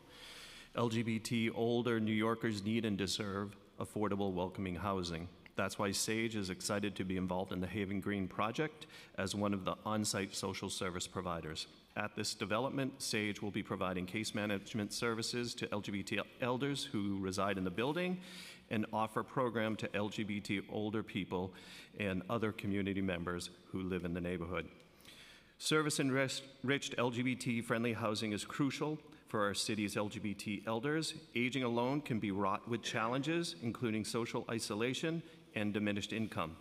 For LGBT older people, however, many of whom who have experienced discrimination throughout their lives as a direct result of their sexual orientation or gender identity, the deck is stacked against them. This uneven playing field has long lasting effects on their financial security. More than four out of 10 LGBT Americans over the age of 65 cite financial problems as a major concern. 51% of LGBT older people report that they are, are extremely concerned about not having enough money to live on, compared to 36% of straight couples. Further, 30% are concerned about housing stability. LGBT people face profound challenges in accessing, in accessing welcoming housing.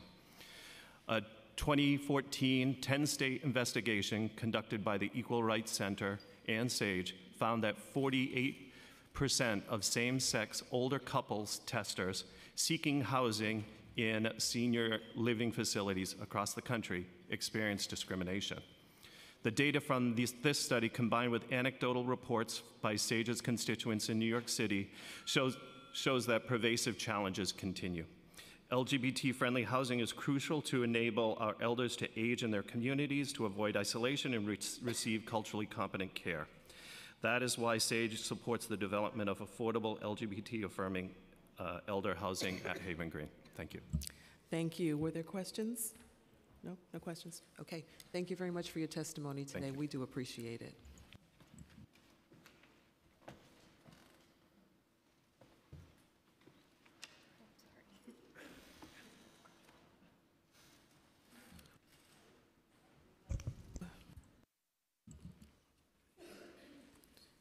Right, we'd like to call up Jean Wilkie, Robert Pierpont, I think that's the way, Piersont, Pierpont, uh, Ben Shepard,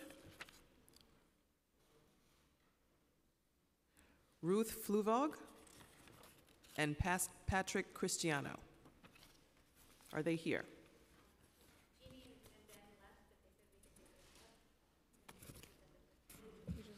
We just, we need forms for you.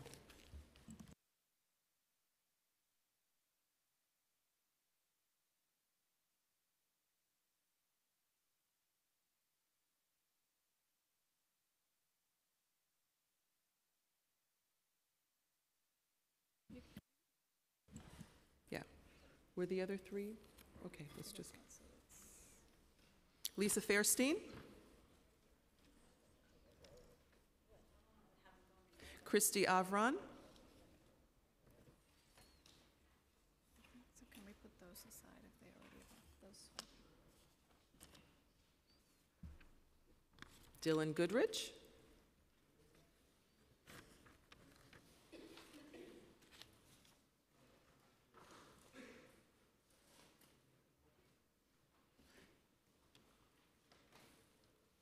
Louis, Louis Semper, Semper Tegui?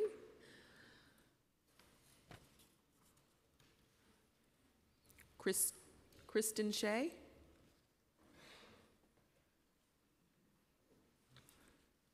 Allison Sky? Still looking for our fifth panelist. Krista Grauer? Hamilton Reagan?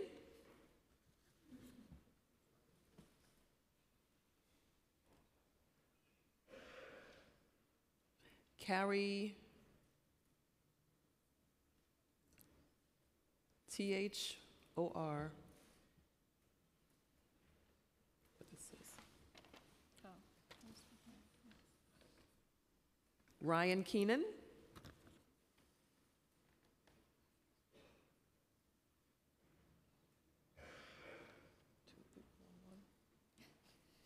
Let's see, one. Hannah and Gabriel Byrne.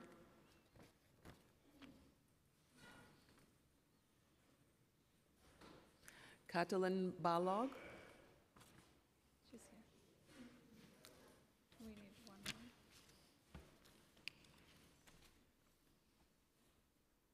Lisa Keenan.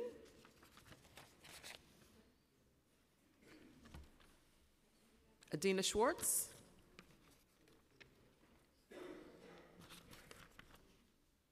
Sean Sweeney. Renee Green. I feel like I'm taking attendance in ninth grade. Renee's. Renee's here?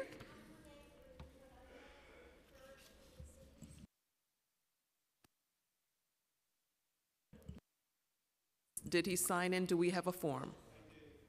What's your name? Come on up. Aziz Dehkan. No problem.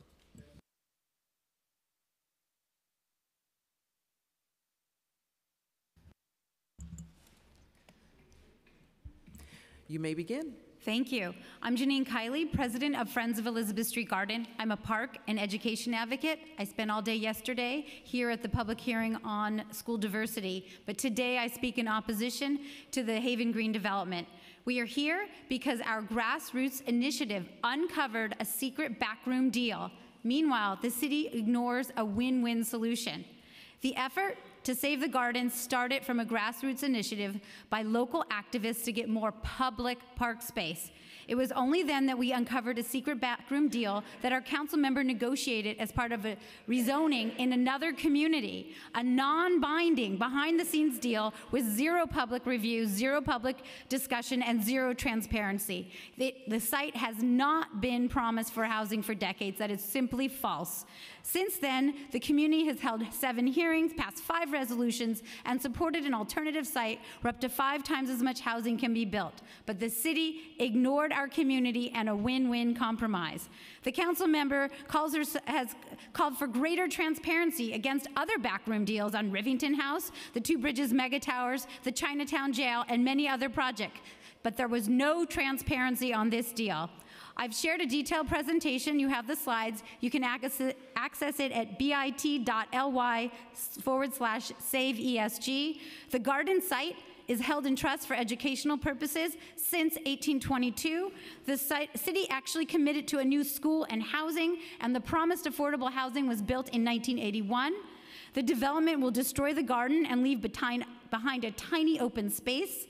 And most important, affordable housing is allocated by age, income, and household size, not sexual preference. But with 50% preference for CB2 residents, the win-win will benefit five times as many of Councilmember Chin's constituents. Support transparency and a win-win solution. Please vote no. Thank you. Thank you. So, um, do you know what I have here in my hand um, is a rubber stamp.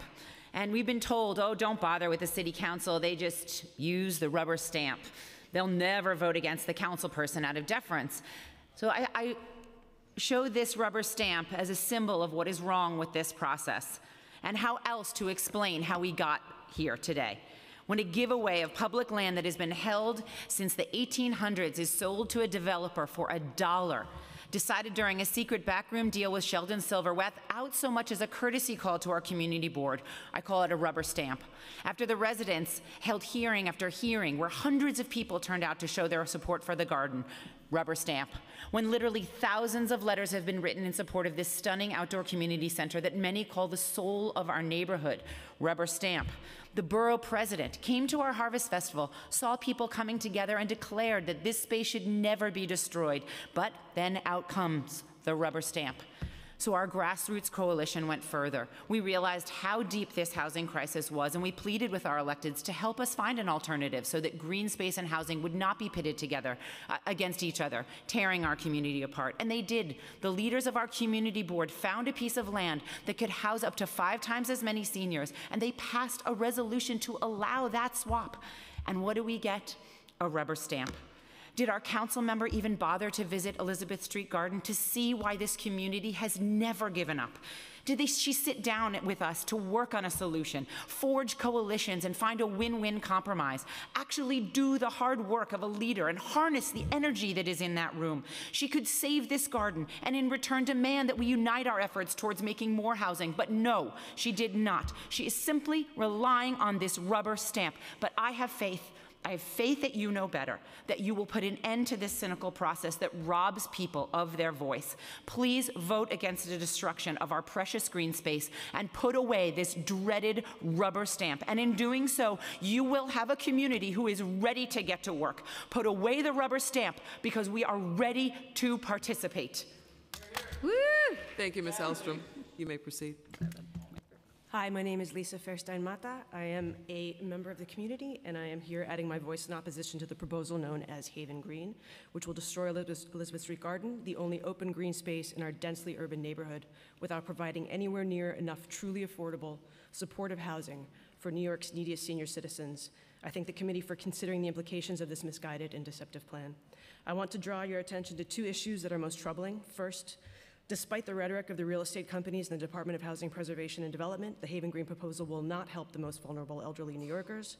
As council members will know from experiences with HPD's so-called affordable housing in East New York and elsewhere, what HPD counts as affordable housing is not actually affordable in the real world. According to their own prospectus and Comptroller Stringer's 2017 Aging with Dignity report, only 32 of the small studio apartments at Haven Green will be affordable to a New York City senior citizen who is reliant on Social Security and disability payments, which average $1,500 a month.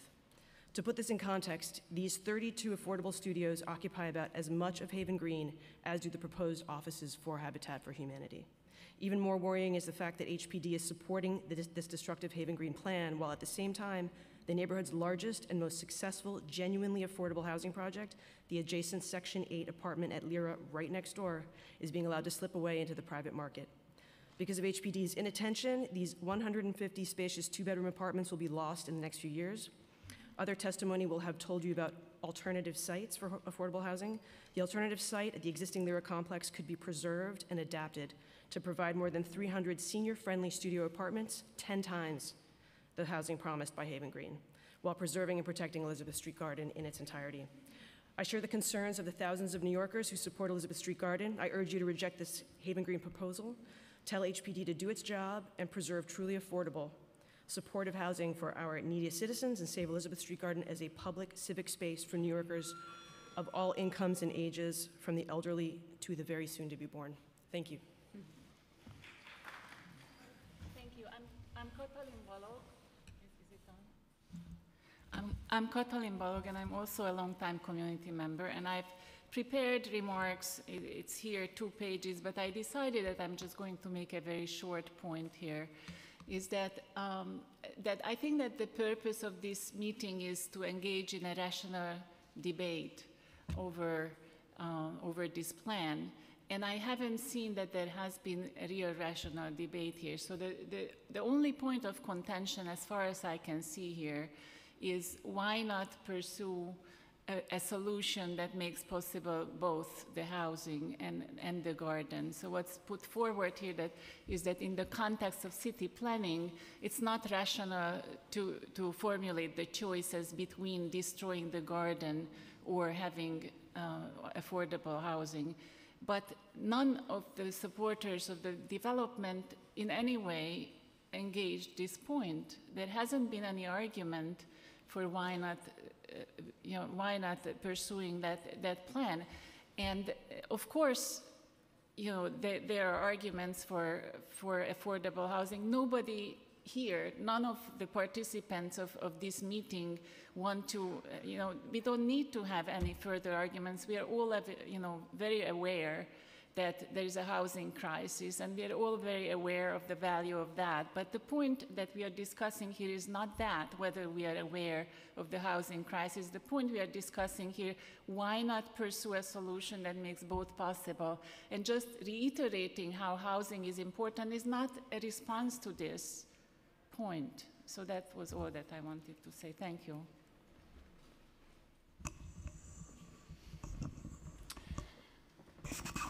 Uh, my name is Aziz Dehkan. I'm a city resident and uh, the executive director of the New York City Community Garden Coalition.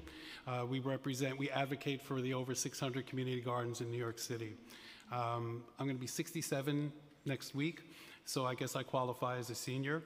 Um, many of the membership of the New York City Community Garden Coalition are of people who can and will want affordable housing. So let's not make this a, a different, let's not make this the argument about who wants affordable housing more.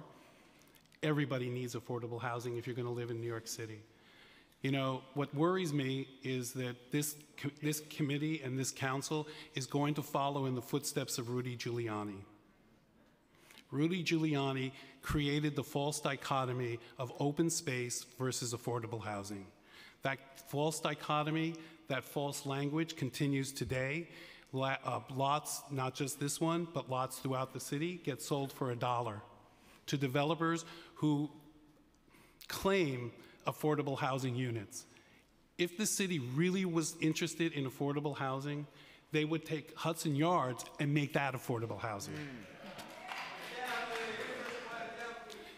If the city was only- really two interested. minutes on the clock, folks. You're taking up his time. if the city was really interested in affordable housing, they would look at the current units that are available to HPD and turn those into affordable housing. So let's not make this the false dichotomy of Rudy Giuliani. Does anybody here want to follow Rudy Giuliani? I don't. So here's what I propose is that we stop talking about this particular lot and start talking about all the open space in New York City. Talk about what racial, environmental, and social justice looks like. And it looks like everybody in this room, it looks like the council, and it looks like we need to join together and make this city a better city, a resilient city, and a sustainable city. Thank you. Thank you very much, and I'm sure everyone in this room wishes you a very, very happy birthday. Thank you for being here today. Thank you, panelists. Thank you.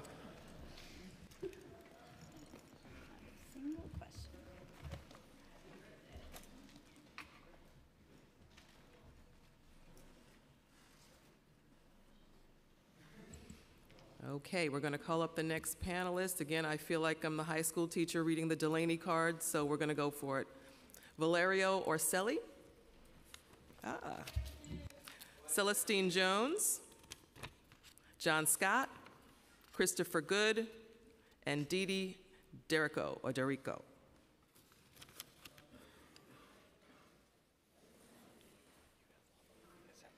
They're- They're gone.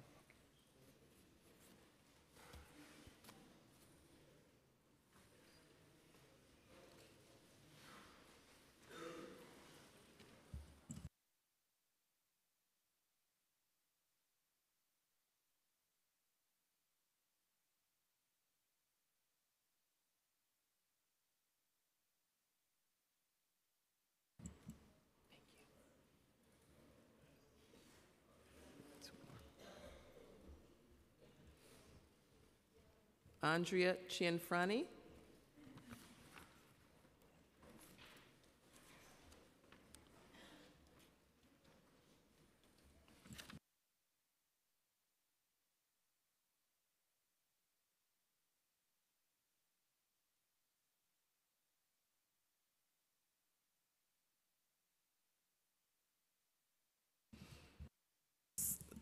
There's room for Jim Forat, if you're here. Jim Forat.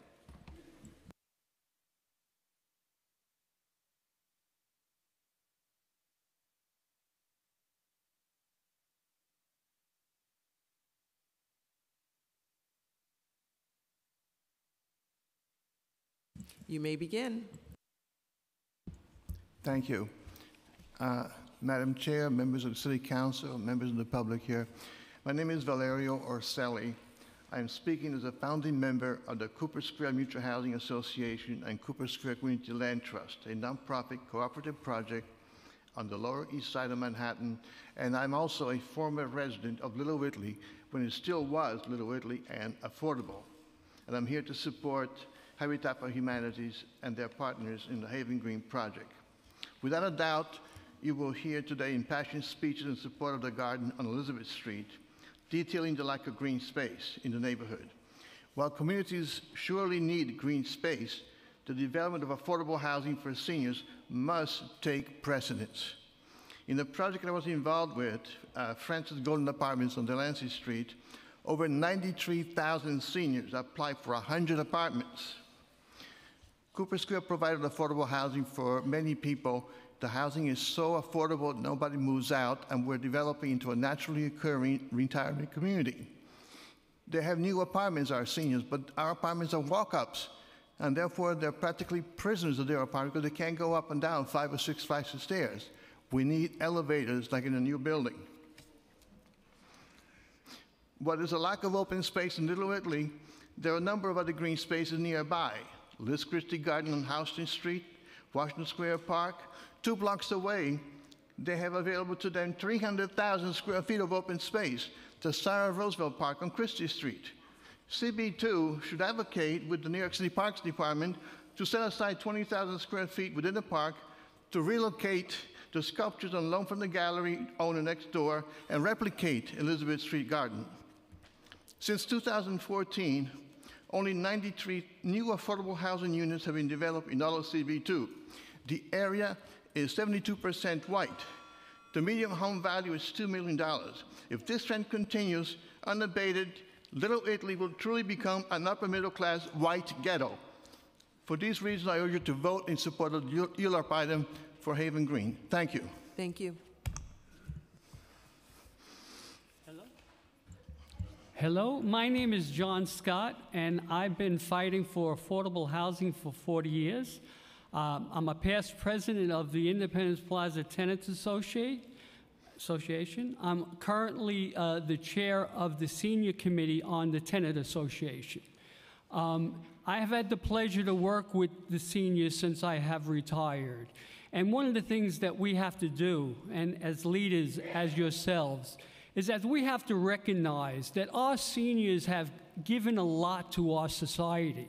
And what we are doing is we are forgetting them. And we understand about um, gardens. I was a fighter for the Washington Market Park. I was one of the original people that was on that board. But what we have now is seniors need housing. And we know that this is a space that can be used and they need these kind of services. I happen to know somebody that I'm working with in the senior center that lived in Little Italy. She raised kids there. But what happened is now she is a senior. She cannot stay in a walk up, so she had to leave and go into a family that couldn't really accept her but had to because she couldn't walk those stairs. She lived in that community. She was pushed out of that community. This will bring her back into the community. I have been lucky. I have raised two daughters in affordable housing in Mitchell-Lama. But what happened with Mitchell-Lama? They are pushing out our people because it expired. And so I was lucky. And if I was not in this affordable housing, I couldn't live here. But I have been a person that made a lot of difference in my community. I've been a leader. I have built this community with other people. And what I ask is yes, gardens are important, but our seniors are much more important. Please do the leadership thing, vote for senior housing.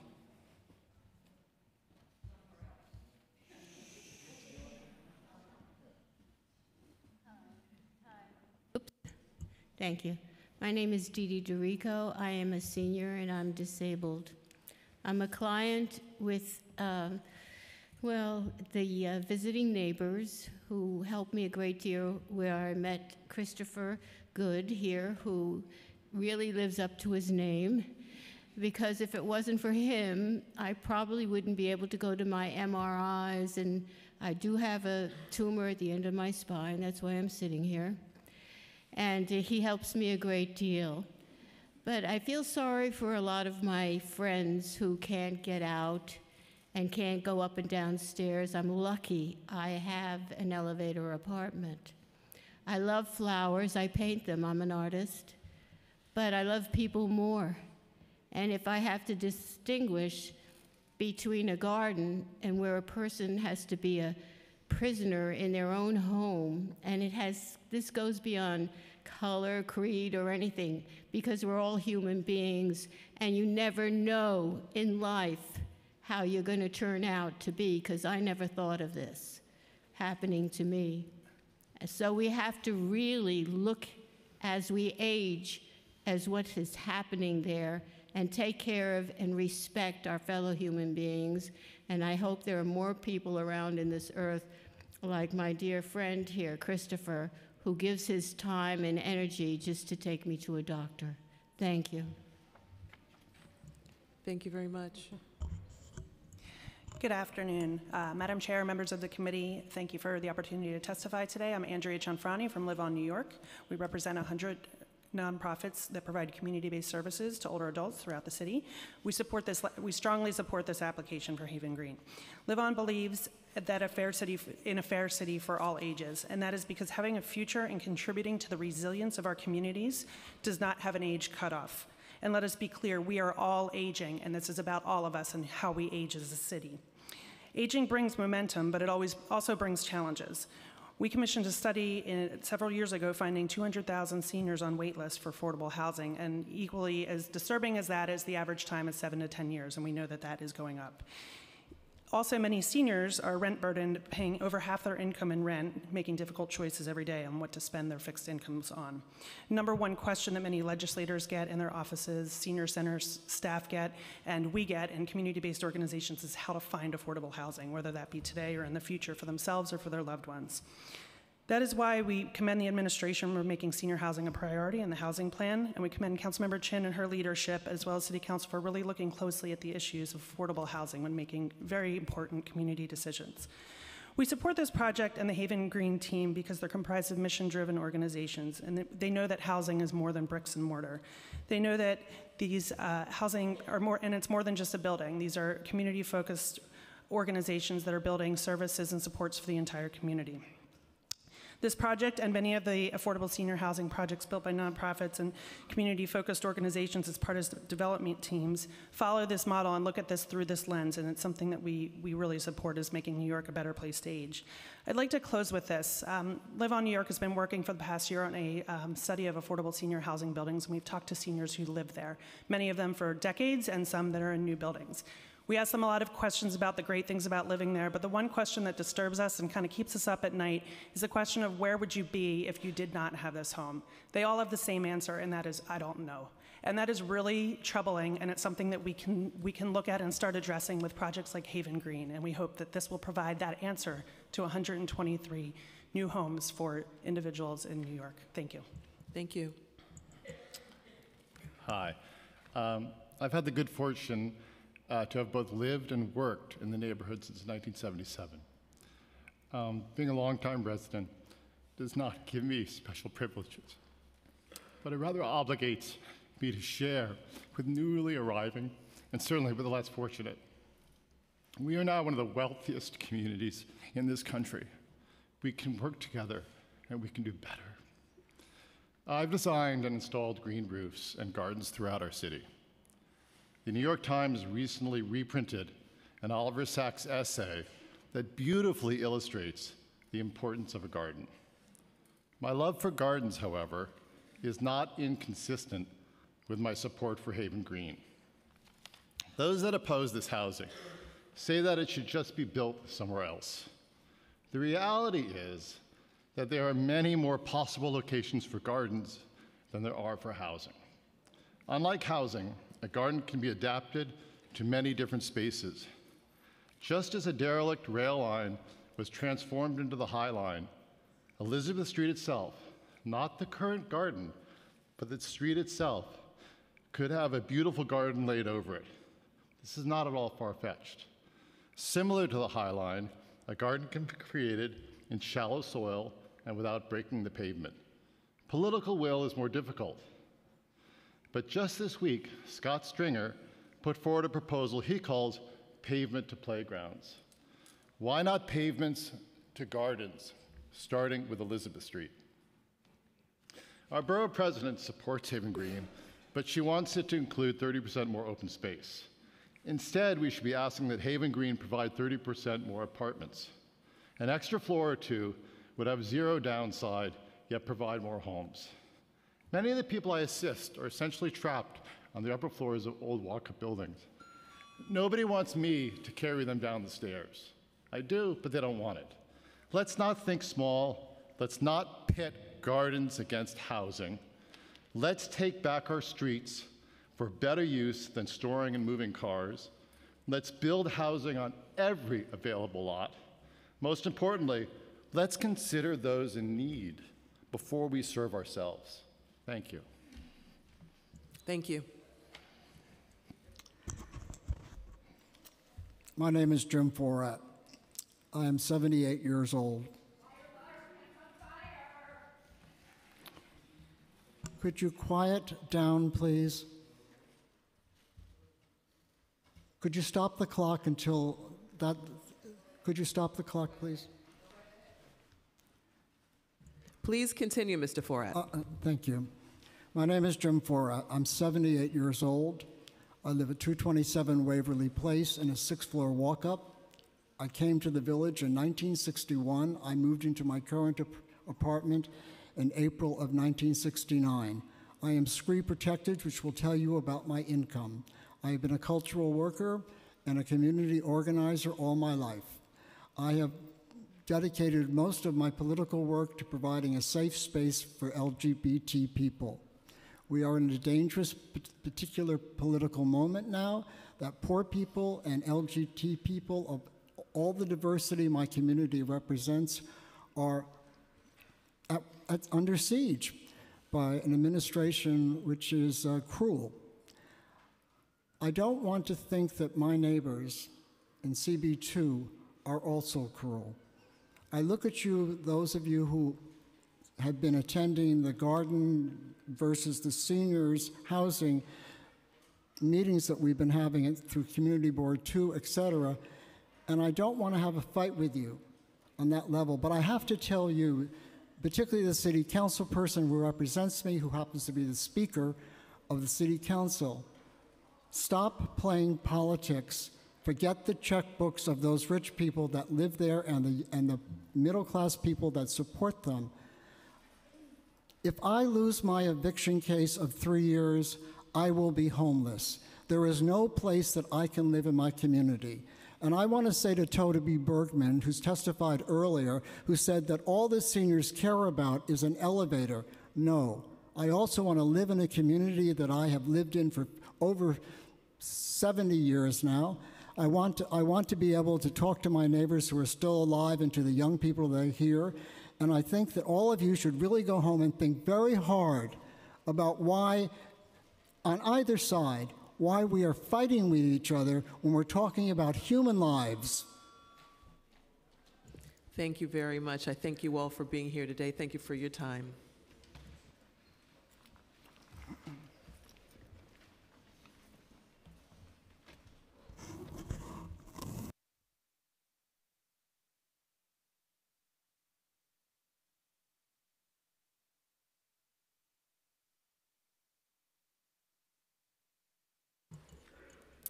Next, we'll call Norman Siegel. Reverend D. Donna Schaper. Schaper? Okay. Are, you- have you signed in? What's your name? Siggy Ray. What's your last name? Rabel? Siggy Rabel. Okay, you can come on up. Yes. Kirsten Theo- Theodos. Thank you. Charles Birnbaum. Okay, then we'll call Kate Fletcher.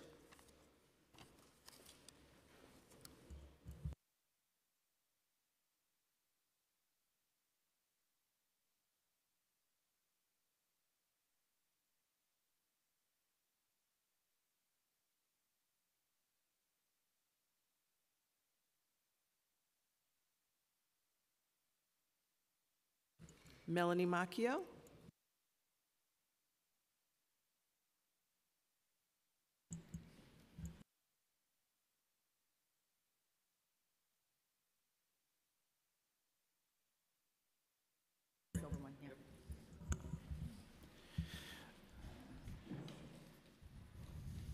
Mr. Siegel, you may begin.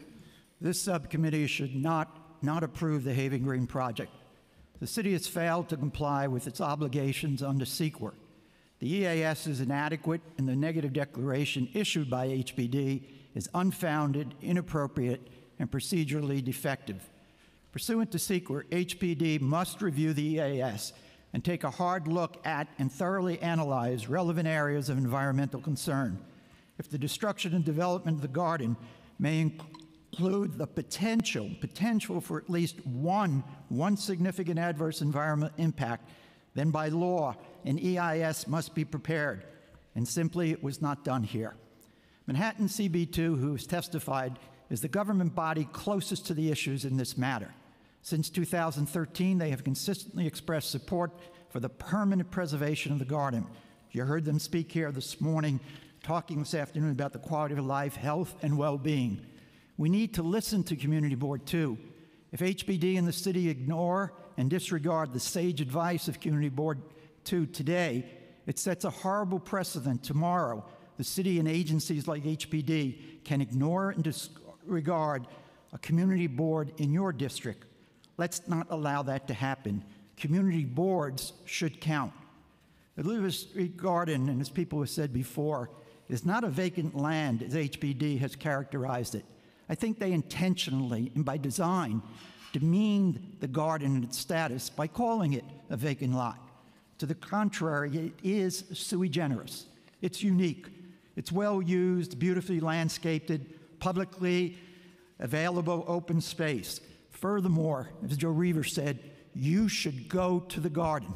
When you go to the garden, you see something different than abstract, especially since right now, if my eyes are correct, the only member on the subcommittee is the chair. One out of five are here now. Is this what democracy is about? Absolutely no. You got to go to the garden before you vote.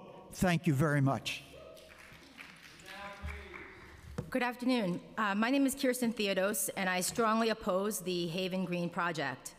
Everyone in the city agrees that New York City is in an affordable housing crisis. And while we desperately need to create new affordable apartments for New Yorkers, I ask this question at the expense of what? The Elizabeth Street Garden is only one example of Mayor de Blasio's Build Baby Build administration stealing public assets to be handed over to private developers. In fact, it's already happened to our libraries, kids' playgrounds, and parkland in the Bronx. Should we demolish all of our gardens, libraries, playgrounds, and parkland into oblivion for the sake of, air quotes, affordable housing? The truth is, the city refuses to effectively manage the low income housing it already has, thus, establishing the premise that the private sector is the only way to create affordable housing. Another truth is, the de Blasio administration is completely controlled by the Real Estate Board of New York, also known as REBNY.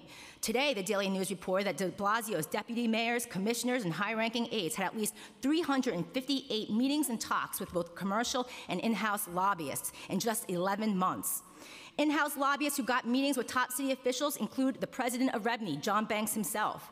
It's also recently been reported that the de Blasio administration opted to buy 17 buildings for the notorious slumlords, Podolsky brothers, to be converted into affordable housing. And the lawyer who represented them in the portfolio sale is Frank Carone, a longtime de Blasio ally and fundraiser. In the case of the Haven Green project, the developer has teamed up with Riseboro. According to Riseboro's website, one of the board members is Frank Carone. So this is just yet another one of de Blasio's many pay-to-play scandals involving city-owned land to be given away to private developers. If the city greenlights this project, it will be one of the most egregious developer giveaways since Rivington House. So I urge City Council to shut it down.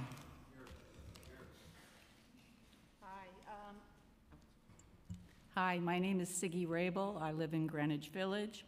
Uh, the Reverend Donna Schaper had to leave. She's the senior minister of Judson Memorial Church, and she is opposed to the development. Um, this is my statement, not hers.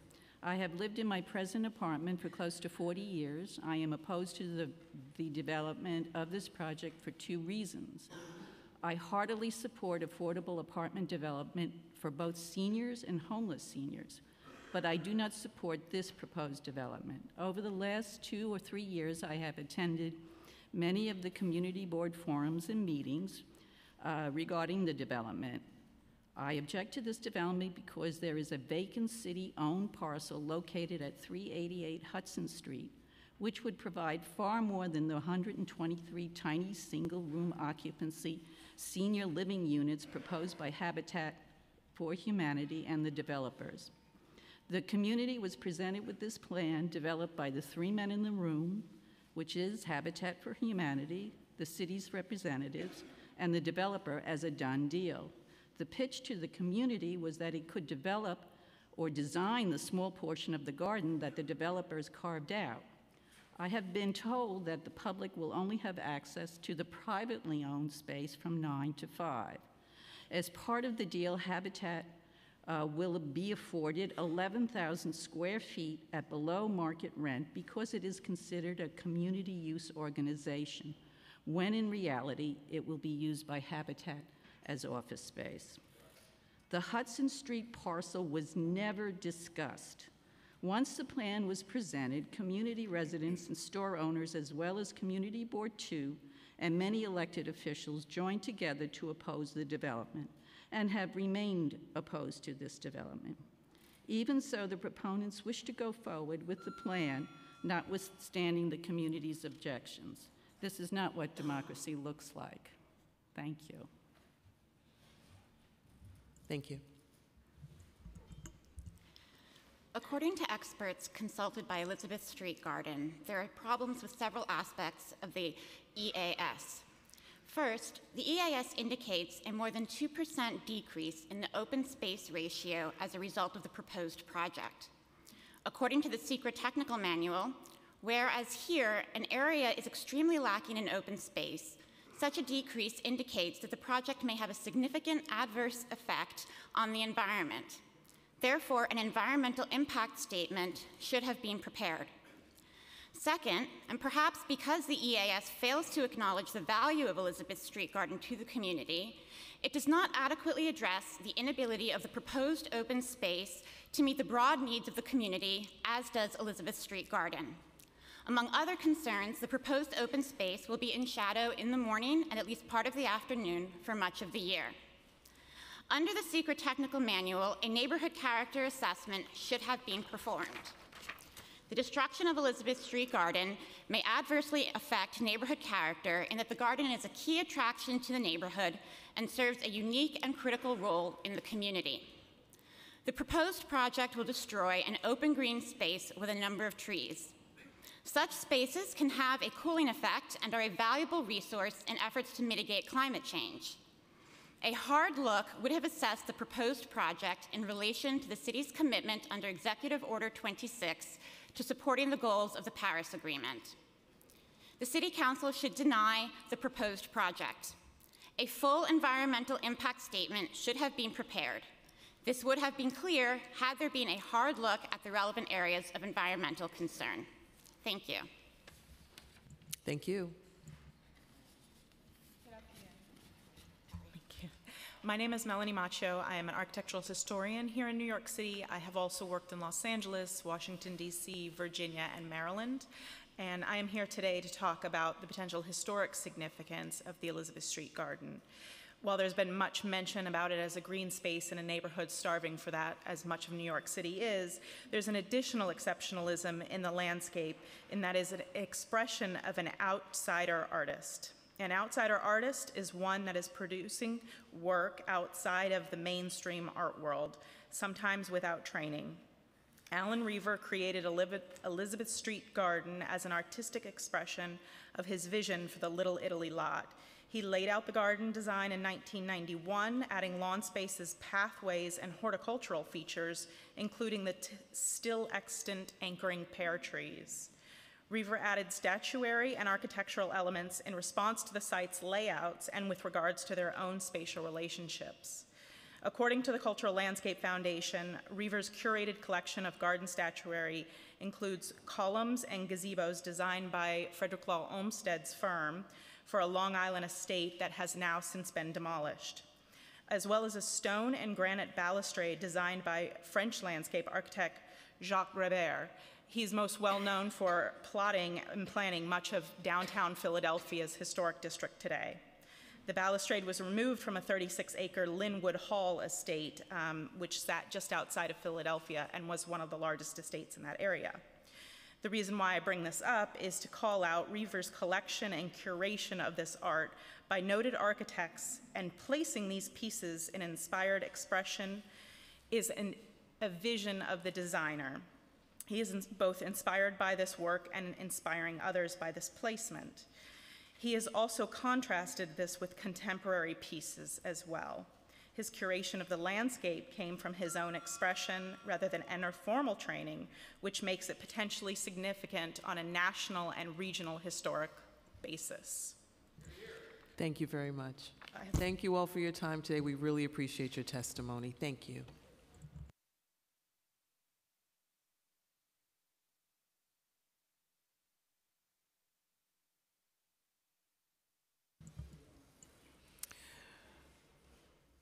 Okay, Jordan Press, Tom Connor,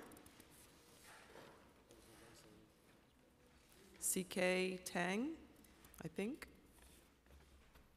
Ben Carlos Typin, and Michael Madrid.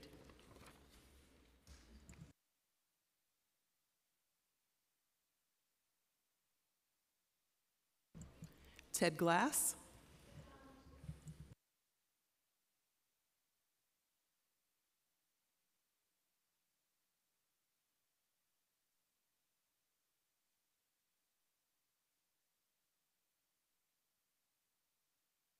It is off, thank you. You may begin.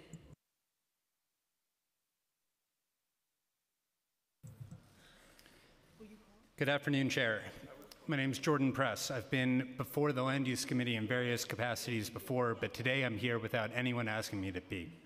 I'm here as a New Yorker, a Manhattanite, a YIMBYist, and an affordable housing advocate.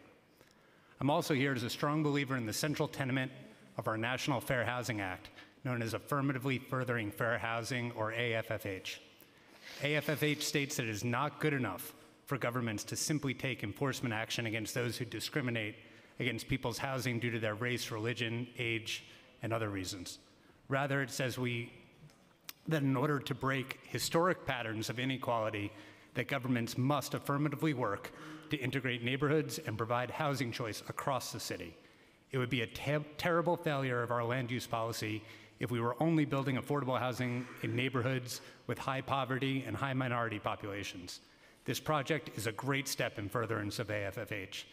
In my judgment, you only need to speak to one elderly person who has spent their entire life working and taking care of others who now faces housing instability to know that your vote in favor of this project lands you on the right side of history. While I respect everyone's position, I lament how contentious this has become. Today should be a day where we congratulate the architect and the development team for putting together an outstanding proposal that balances the need of, of outdoor space with housing. We should be extolling the brave and courageous stance of Councilmember Chin and her staff for having such moral clarity on this issue.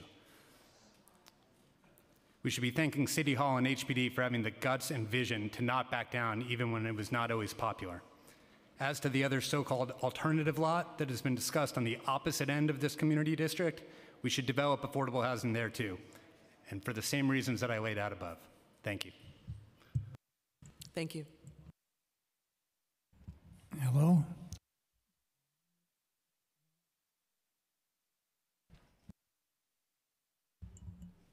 Hi, my name is uh, Tom Connor. I'm 88 years old. I've been desperate about this housing situation, and it's getting worse. I want to thank Margaret Chin for her leadership.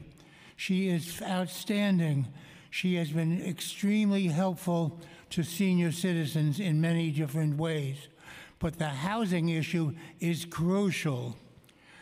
I am also a member of Community Board 2, although I am not speaking for them uh, as I am in a minority. But I don't want you to get the wrong impression. The people that spoke from Community Board 2, they were the majority, but there were others that don't agree with them. I'm one of them. Now, it seems to me that the people that are fighting against the public senior housing, these strike me as people that feel entitled. They want what they want. They talked about getting 8,000 letters in. How do you think they did that? They hired a professional staff. They've hired an expensive lawyer. They've hired all kind of public relations. How are the homeless going to compete with these rich people? They're trying to gentrify that area. There's no social justice if people have to sleep on the street and that other people can loll in a garden and enjoy themselves, which is nice if they can do it, but not at the expense of putting people on the street.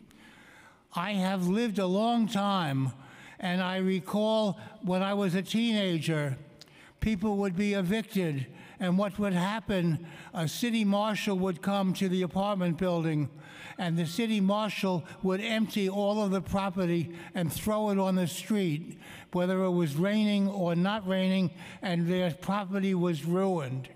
Um, just imagine a 90 year old person losing their apartment with all their memories, all of the things that they enjoy in life. Thank you. I think that it is a horror story that we're hearing from the people that are fighting this project. I don't trust them, Thank and you for I your don't trust testimony. their motives. Thank you very much. Thank you.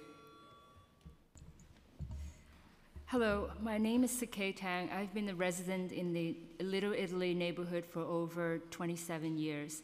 I recognize most of the people in the other camp, and I have been an advocate for quality of life for our community as well. But that's just it. Who are the people in our community?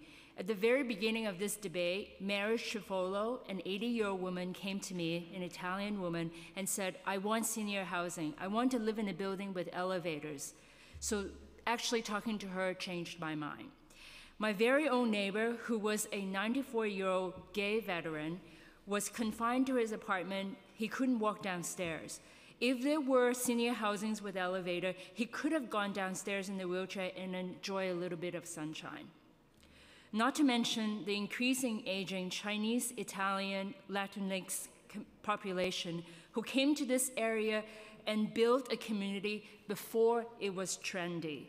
They laid the foundation for what is so appealing for the new residents today. So when we talk about quality of life for our community, I think about them. They are also a part of our community and they need senior housing now. They also deserve an opportunity to thrive. Thank you. Thank you. Yeah, you- You're not on the, please proceed. You're not on the wrong panel. Uh, Okay. My name is Jordy Mark, and I'm here as a 47-year resident of the South Village, now known as Soho. Um, And I um, was also the tenant leader in my building, which was HPD-owned, which was sold to a developer for a dollar. And it took us years to fight to protect our homes, our rights, and the affordability of our apartments, and we didn't get the elevator. I am here, I am also your demographic, Margaret Chin. I am your demographic. I am a low income senior. I am a gay New Yorker, and yet I am opposed to this project of the Haven Not So Green project, and I am in support of the Elizabeth Street Garden.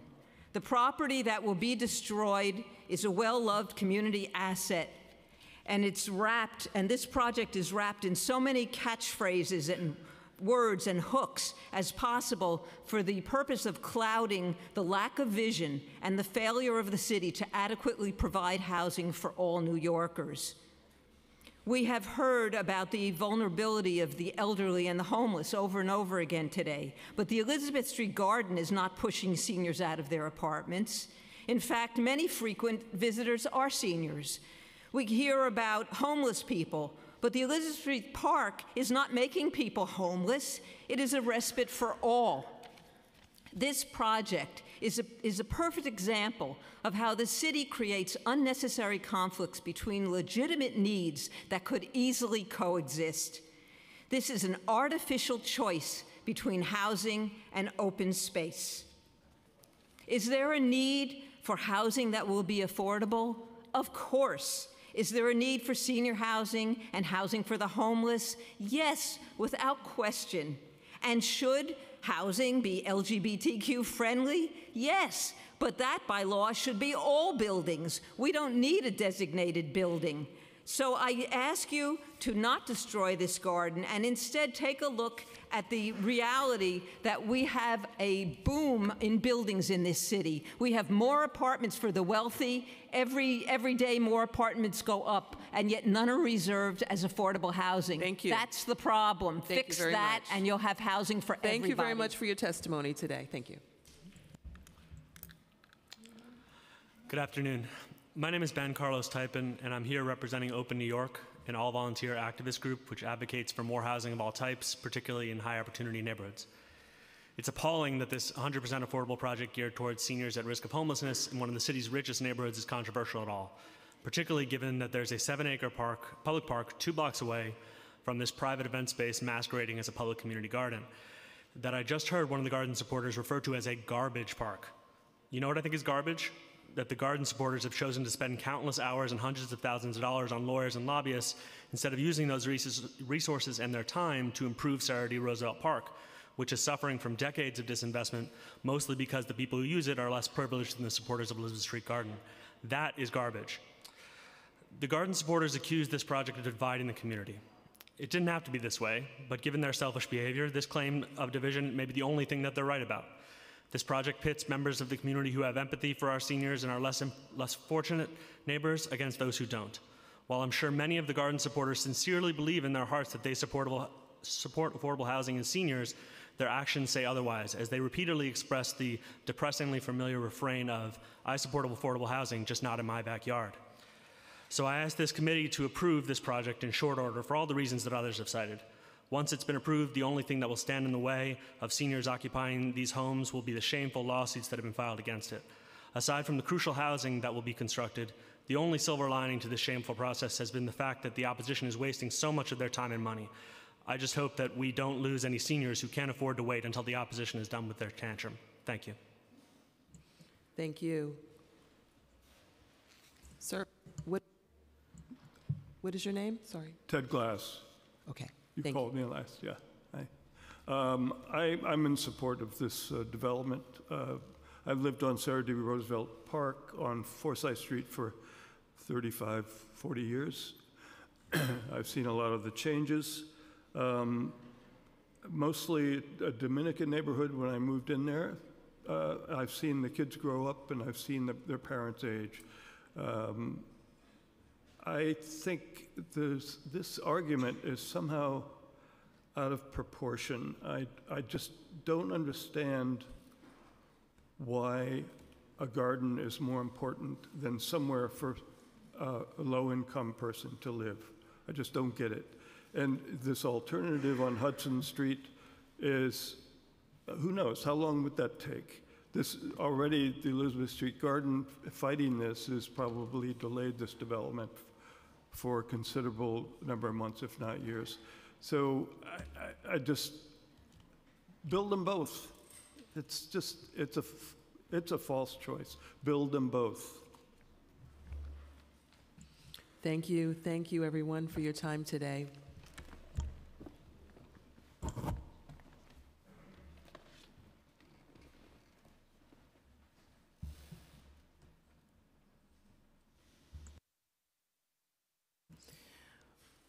Michael Green, is it Mike, is it Green? Um, Friends of Elizabeth Street Garden?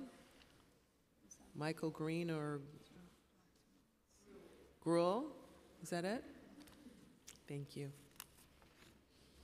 David Eisenbach? I think we had Aziz Dehkan already. We had, so. Nina Taylor? Richard Emerson.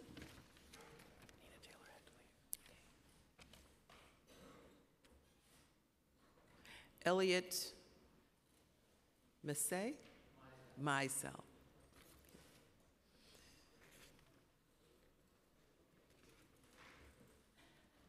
Arthur Darris?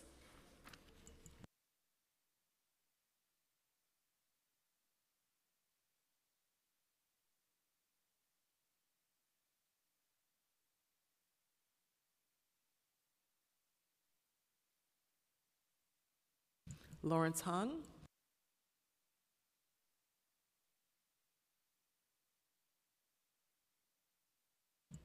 John Campo.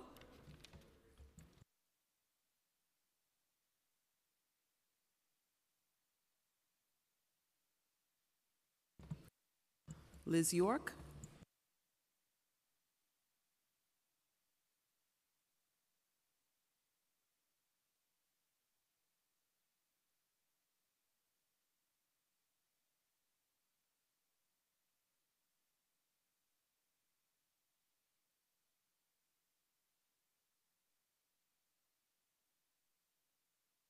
Okay, you may begin.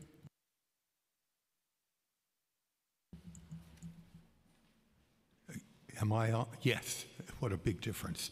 Uh, my name is Michael Gruen.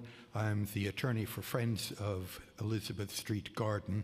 And wearing another hat, I'm president of the City Club of New York and a very staunch advocate of parks and open space. Uh, the, the subject uh, of this project uh, obviously concerns two very worthy social goals housing for low income persons and providing essential open space for all. I agree with people who have gone before and say it, one, one should not have to make a choice between those two. One should not have to suggest that we, we tear down uh, Central Park or that we use uh, the Metropolitan Museum for housing. Uh, all of these have to be done, uh, both, both uh, types of development. Um, the problem here is that the council is being asked to make a decision on the basis of a woeful lack of essential information. Worse than that, much of the information it has is appallingly misleading and they, uh, well, uh, put it differently, the uh, ULURP and CEQR have been developed in order to provide vehicles for uh, enlightenment of the legislative process. Uh, for, uh, in the case of CEQR, for the council and others to be able to consider right from the beginning of the development process what the impacts on the um, environment are going to be as a result of the project.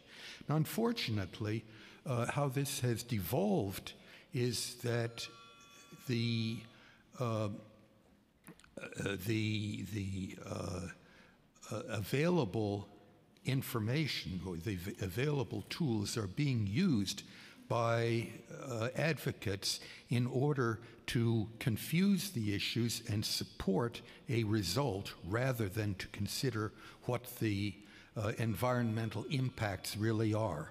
Uh, I hope that you'll uh, read the full copy of my text, uh, which I've made available to you. Thank you. Thank you.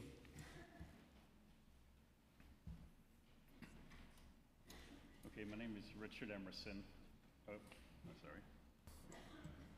Okay, that's better. Richard Emerson. Uh, I've been frequenting Nolita, or the area before it's called that, since 84, uh, primarily back then for CBGBs, uh, now long gone. Uh, and I'm a property owner in Nolita as well. Uh, my background, I'm now uh, an academic. I write on corporate ethics, corruption, and also on urban planning, a fellow at Stanford Law School. The, um, and I've been following this with interest because I've been involved as a trustee or with the trustees of the National Trust for Historic Preservation. And this really is, uh, as everybody says, a false dichotomy. The garden is quite special. I object to what's happening. Um, and I do so both from the process as well as the financial situation. Um, I'm, I was blessed. I ended up being an early executive at the Blackstone Group when it got founded. We're one of the largest uh, private equity funds in real estate, and I was also a senior vice president at Microsoft. I ran corporate development strategy and was on the executive committee. But I've watched with dismay actions like this with uh, Margaret Chin, for example, over 135 Bowery, where promises were made to the community and a very important 1817 building was torn down, um, which uh, the National Trust actually wanted to protect as well over the auspices of affordable uh, office space. Of course, the building, none of those were ever implemented. The building was flipped within a year. It wasn't landmarked. A large profit was made. Um, I've tried to meet with Margaret several times over the last five years and have not been able to. Um, I'm dismayed that she probably has the largest percentage of donations from real estate of any of the councilmen, 12.5%. Um, and there's two types of corruption. There's the overt corruption, like uh, her patron silver. And then there's the more corrosive ones where real estate sort of goes in. Um, I could go through a lot of these documents and find loopholes. Money finds a way to beat these. In 10 years, um, this, this won't even make a dent in terms of affordable housing. In fact, probably won't even exist in that format anymore. Uh, so I just, um, I'm here just because I believe in process and ethics, and I'm really dismayed by what I've seen. Thank you.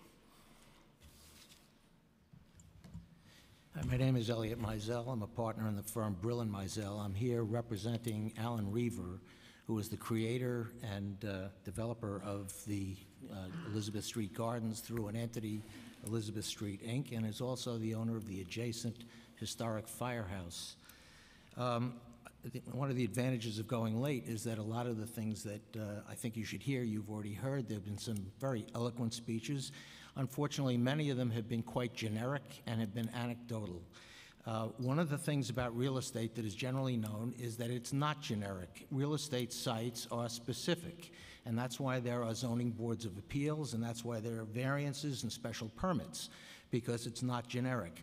This housing project has been generically talked about as providing senior housing, senior housing in the abstract, and we've heard many very uh, uh, uh heart-wrenching speeches about people who are lacking housing.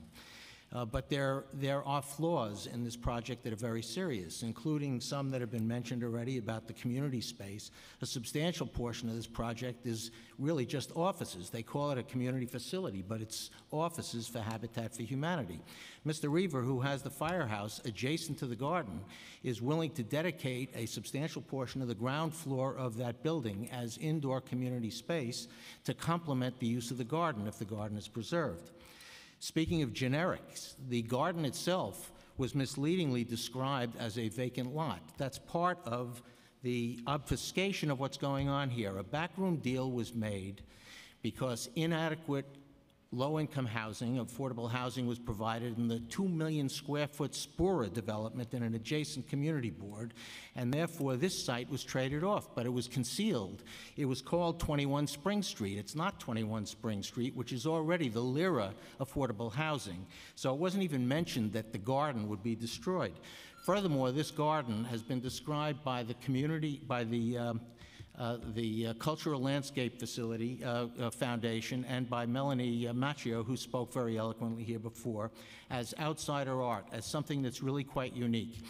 In tribute to that uniqueness, and in order to protect it, we are in the process of filing a VARA claim under the federal copyright statute to protect this as outsider art in the tradition of the five points, uh, in order to preserve a unique historic and cultural asset that the uh, EAS did not even address in any way.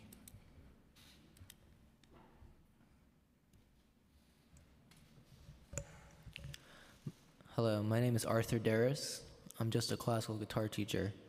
Um, and I teach that because I think we reach deeper parts of our humanity through, through beauty. And that's why I'm here. Happy May, everyone. For those that don't know, May is Mental Health Awareness Month. I begin with this because the issue of green space is really one of public mental health. There have been numerous studies that correlate a causating factor of nature exposure and mental wellness. A 2015 study published by Stanford University states this Urbanization is associated with increased levels of mental illness, but it's not clear why. Through a controlled experiment, we investigated whether nature experience would influence the frequency of rumination. What is rumination? Rumination is repetitive thought focused on neg negative aspects of the self, a known risk factor for mental illness. Participants who went on a 90 minute walk through a natural environment reported lower levels of rumination and showed reduced neural activity in an area of the brain linked to risk for mental illness compared to those who walked through an urban environment. Now, I'm aware Mayor de Blasio is in favor of removing Elizabeth Street Garden from the Nolita neighborhood. I'm also aware that his daughter, Chiara, struggled with drug addiction to cope with anxiety and depression. I'm aware de Blasio's wife responded to this by uh, creating Thrive NYC, which is a so called initiative for mental health care in New York City. The initiative, according to the website, focuses on public awareness and early treatment of mental illness. To all those who are in favor of development, ESG is early treatment of mental illness.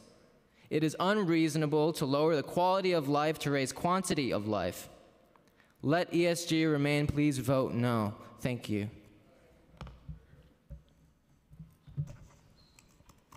Hello, my name is Elizabeth York. I'm a constituent of Margaret Chin's. Also, I'm a Sierra Club member, Save Our Seaport, Children First, NYPIRG, and 350.org. The housing crisis has no age limit. I've had to move as a New York City resident 18 times because of increasing rent. My living situation is tenuous, but all of our lives are tenuous. Our community is Earth. Every one of us benefits from trees. This development is an environmental disaster. This short sighted plan gives a few temporary apartments to a few elderly at the expense of future generations, while developers profit throughout the whole destruction. Build where there's no trees. When green space is gone, we all lose. Our planet is in a crisis. We don't have time for new trees to grow. Unless we reduce carbon emissions, in just eight years, all of the coral reefs will die from a 2% centigrade rise in the Earth's temperature. Think about it. It's happening now. Think about future generations. Save our green spaces and put buildings on concrete. Unless we drastically change our collective home, our planet Earth will never recover. Thank you all for your testimony today. Thanks very much.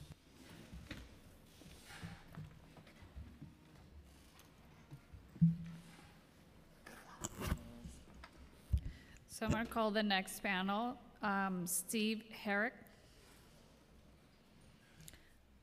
Bobby Sackman,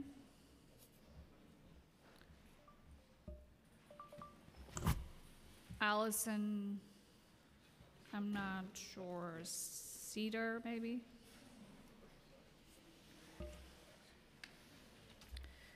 Lavin Thomas, Lauren Thomas, I'm sorry.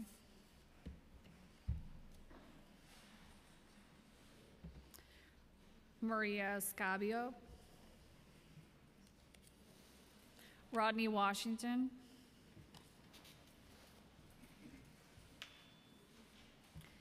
Eric Diaz.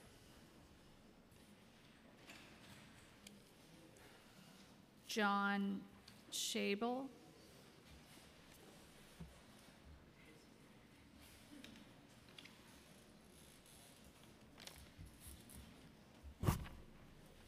Ken A.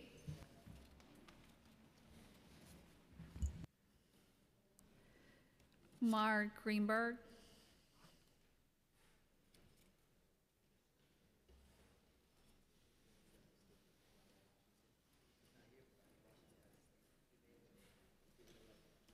We can take it, or if you want to read it on his behalf, that's fine.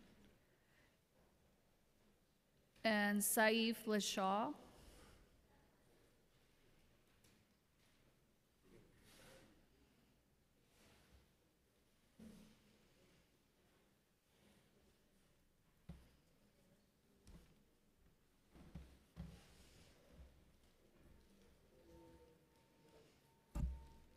Whoever's ready, you may begin. Okay. Uh, good afternoon. I'm Steve Herrick, Executive Director of the Cooper Square Committee. I'm testifying to express our strong support for the ULURP for the Haven Green Senior Affordable Housing Project on Elizabeth Street.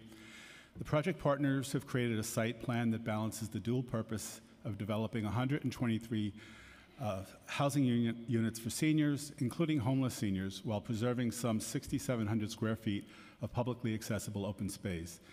They've designed an inclusive project that will set aside up to 30% of the units to LGBT seniors who have very few gay friendly senior housing options and will receive supportive services from SAGE. The building will be environmentally green. They've invited the community to participate in a series of design charrettes to determine how the open space will be used. The Cooper Square Committee has a track record of sponsoring uh, 600 low, uh, uh, development of 600 low income housing units and we also have supported open space at numerous sites. However, while the loss of 13,000 square feet of open space uh, in the Little, Little, Little Italy community is regrettable, Sara Roosevelt Park is two blocks east of this site. It's nearly eight acres, and the Sara Roosevelt Park Coalition offers community gardening opportunities to local residents. No one is denying that Community Board 2 and Little Italy are underserved by open space, but the lack of affordable housing is a much more severe crisis. Some opportunities to create more open space exist uh, in and near Little Italy, particularly on a 12,000 square foot site owned by uh, DEP at 142 Grand Street, six blocks from this site. Meanwhile, opportunities to create a substantial amount of senior housing are non existent. There's simply no other city owned properties in Little Italy that can accommodate uh, uh, this type of housing. The garden advocates keep propose, proposing locating senior housing at a different site at 388 Hudson Street in a totally different neighborhood above the water tunnels. They claim it can hold some 500 housing units or more, which is not true. Zoning allows for at most 200 units at that site, and engineers have not determined whether it is even possible to build there at all given the uh, um, underground infrastructure. Of course, if you can, we support that, but it's an additional site, not an alternative one. Um, it's unfortunate two neighborhood needs are in direct conflict, but Cooper Square Committee supports the development of senior housing at this site. Thank you. Uh, My name is Mark Greenberg. I'm the Executive Director of the Interfaith Assembly on Homelessness and Housing, and I'm here to offer testimony in support of the Haven Green Project. And I want to commend Habitat for Humanity and Councilmember Chin and Riseboro Community Partners for their great work in bringing this to us. Uh, since its founding in 1985, the Interfaith Assembly has advocated for public policies that address New York City's crisis of homelessness and the shortage of affordable housing. And for over two decades, we've been pleased to count Habitat for Humanity as a strong ally in our efforts, which collectively have helped to create and preserve many tens of thousands of homes for some of our most vulnerable New Yorkers. When we first learned about the Haven Green Project, we were understandably sensitive to the loss of Elizabeth Street Garden. Green spaces are crucial to healthy communities. However, after further consideration, we've come to the conclusion that the creation of 123 truly affordable units of permanently, permanently affordable senior housing, including 37 for people who've been homeless, plus the inclusion of over 8,000 square feet of publicly accessible garden and green space, flexible community activity space, and on site community services make this project a significant net gain for its neighborhood and our city. With, with over 63,000 men, women, and children sleeping in New York City shelters, including over 5,000 seniors, New York City cannot afford to pass up any opportunity to develop affordable housing for our people in need. Additionally, the inclusion of publicly accessible green open space in a project that utilizes state of the art, energy efficient design can provide a prototype that all city based housing projects should look to replicate. The loss of a community garden is regrettable, and the frustration of the neighbors who've celebrated community in the Elizabeth Street Garden is understandable. It's our hope that the community members who built and celebrated community in the garden will welcome their new neighbors with open arms and continue to invest their energy into a neighborhood that will now include new homes for 123 seniors who will be afforded the blessed opportunity to live out their twilight years in safety and security. Thank you.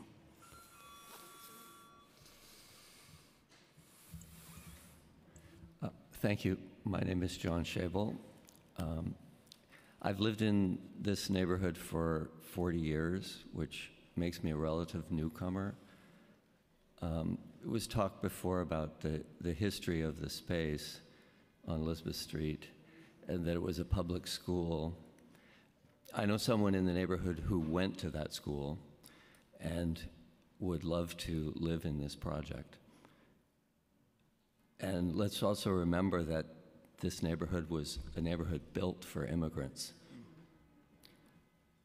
I've known several seniors in the neighborhood who spent the last years of their lives without leaving their apartments because they couldn't handle the stairs, which is kind of a unique problem uh, to this city in terms of the rest of the country because it's New York is the densest city in the United States. It's very disturbing to see these two public needs pitted against each other. And but the outcome is I don't think things can remain the way they are. It's been suggested here in previous testimony that the park can move into the street. that's the kind of thinking that this city needs to go forward. Thank you.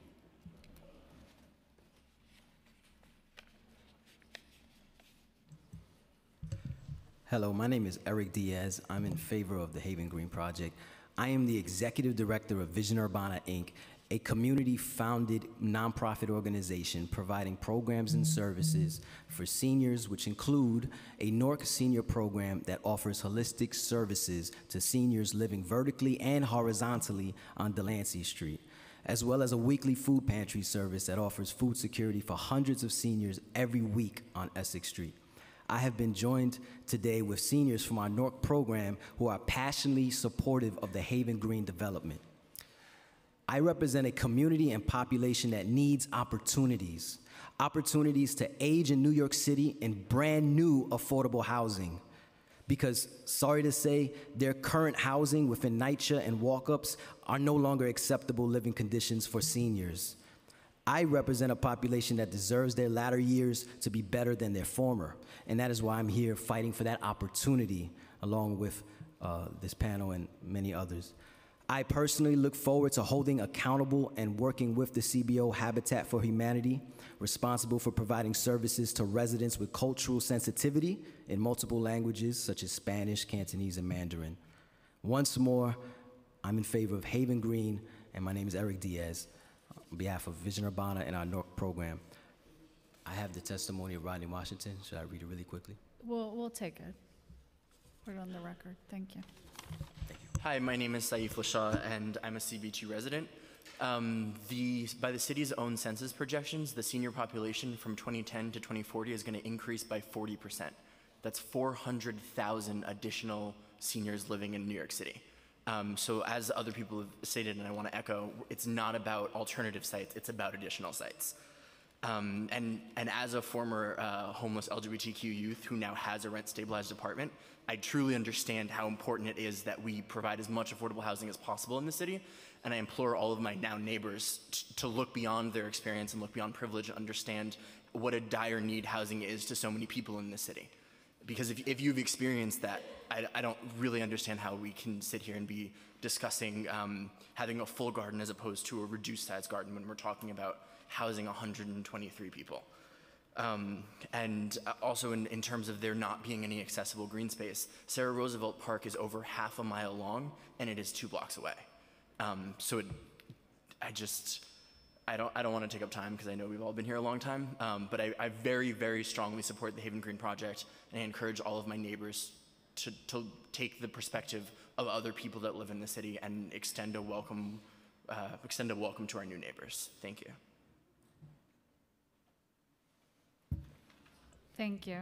We'll call the next panel.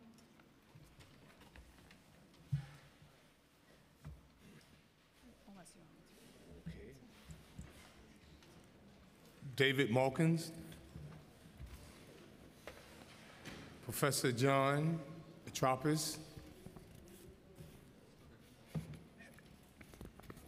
wait a minute, something. Ella Bonds,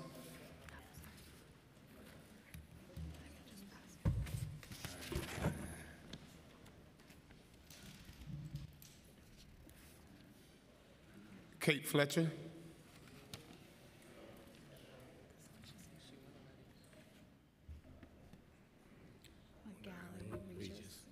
Magali Regis, Regis.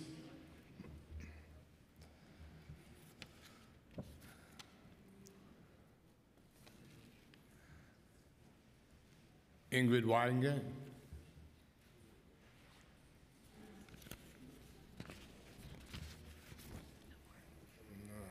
He's in the news. I called that. Yeah. Uh, Again, Heather, Heather Sharp.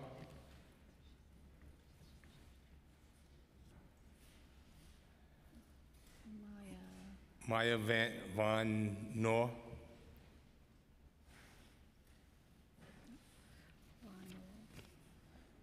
Ronnie Wolf.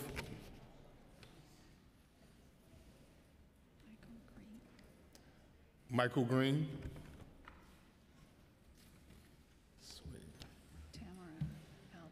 Tamara Tamara Alvarez. Carol Ashley. Sebastian Gabi. Barbara Ramsey.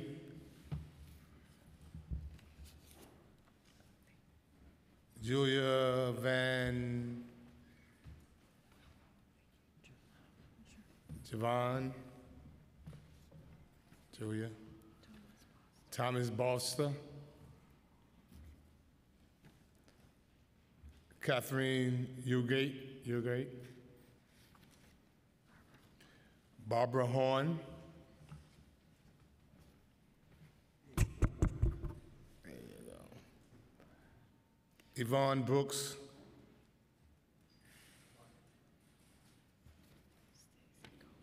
Elizabeth, no, I'm sorry. Stacy Kaufman. There you go. That's four. Jordy Mark. Oh, she Okay. recorded. That's okay. Thank Thanks, you. Jordy. Uh, Stephen Clark.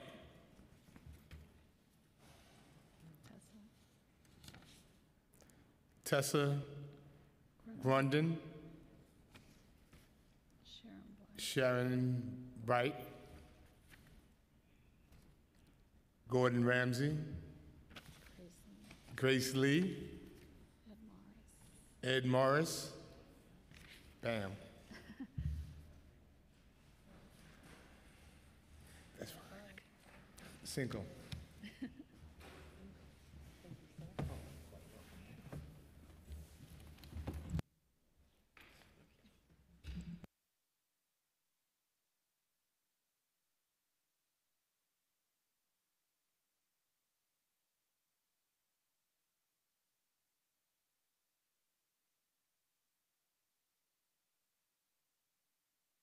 Thank you. You may begin.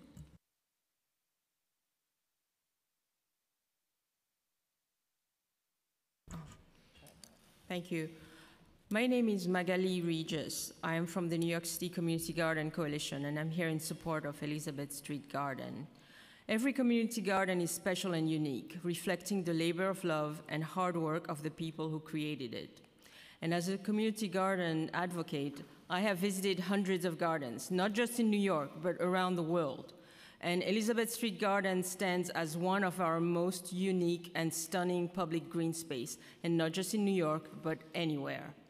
And in a neighborhood where parks are so scarce, the garden has filled that gap, allowing those who reside there and work there nearby a necessary respite from the stress and density of urban life. And we need to do all we can to stop its destruction.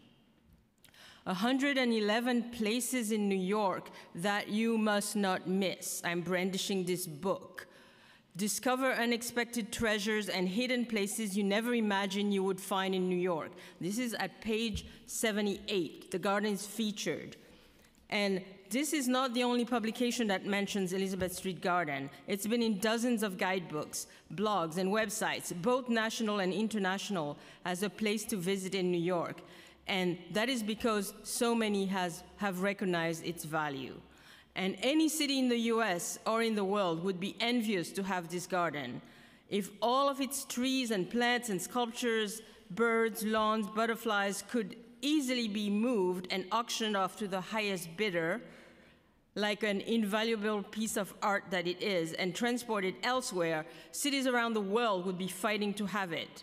New York is crying out for more green space. Sure, we need affordable housing, but not at the expense of destroying a beloved and extraordinary space that's been treasured by thousands. New York City has Central Park. Imagine if it were destroyed, what kind of city we would be. Well, for Elizabeth Street Gardens community residents, it's their Central Park, and destroying it is an act of neighborhood violence. I urge the City Council to vote no to Haven Green development and preserve the garden in, in its entirety. Thank you. Thank you.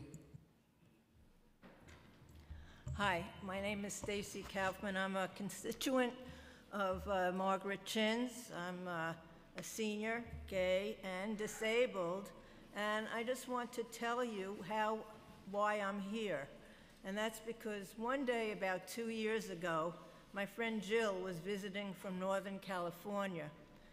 And we were walking around the neighborhood. I was just showing her around New York. We were walking around the neighborhood, and all of a sudden, we walked down the street, and there was this oasis just appeared.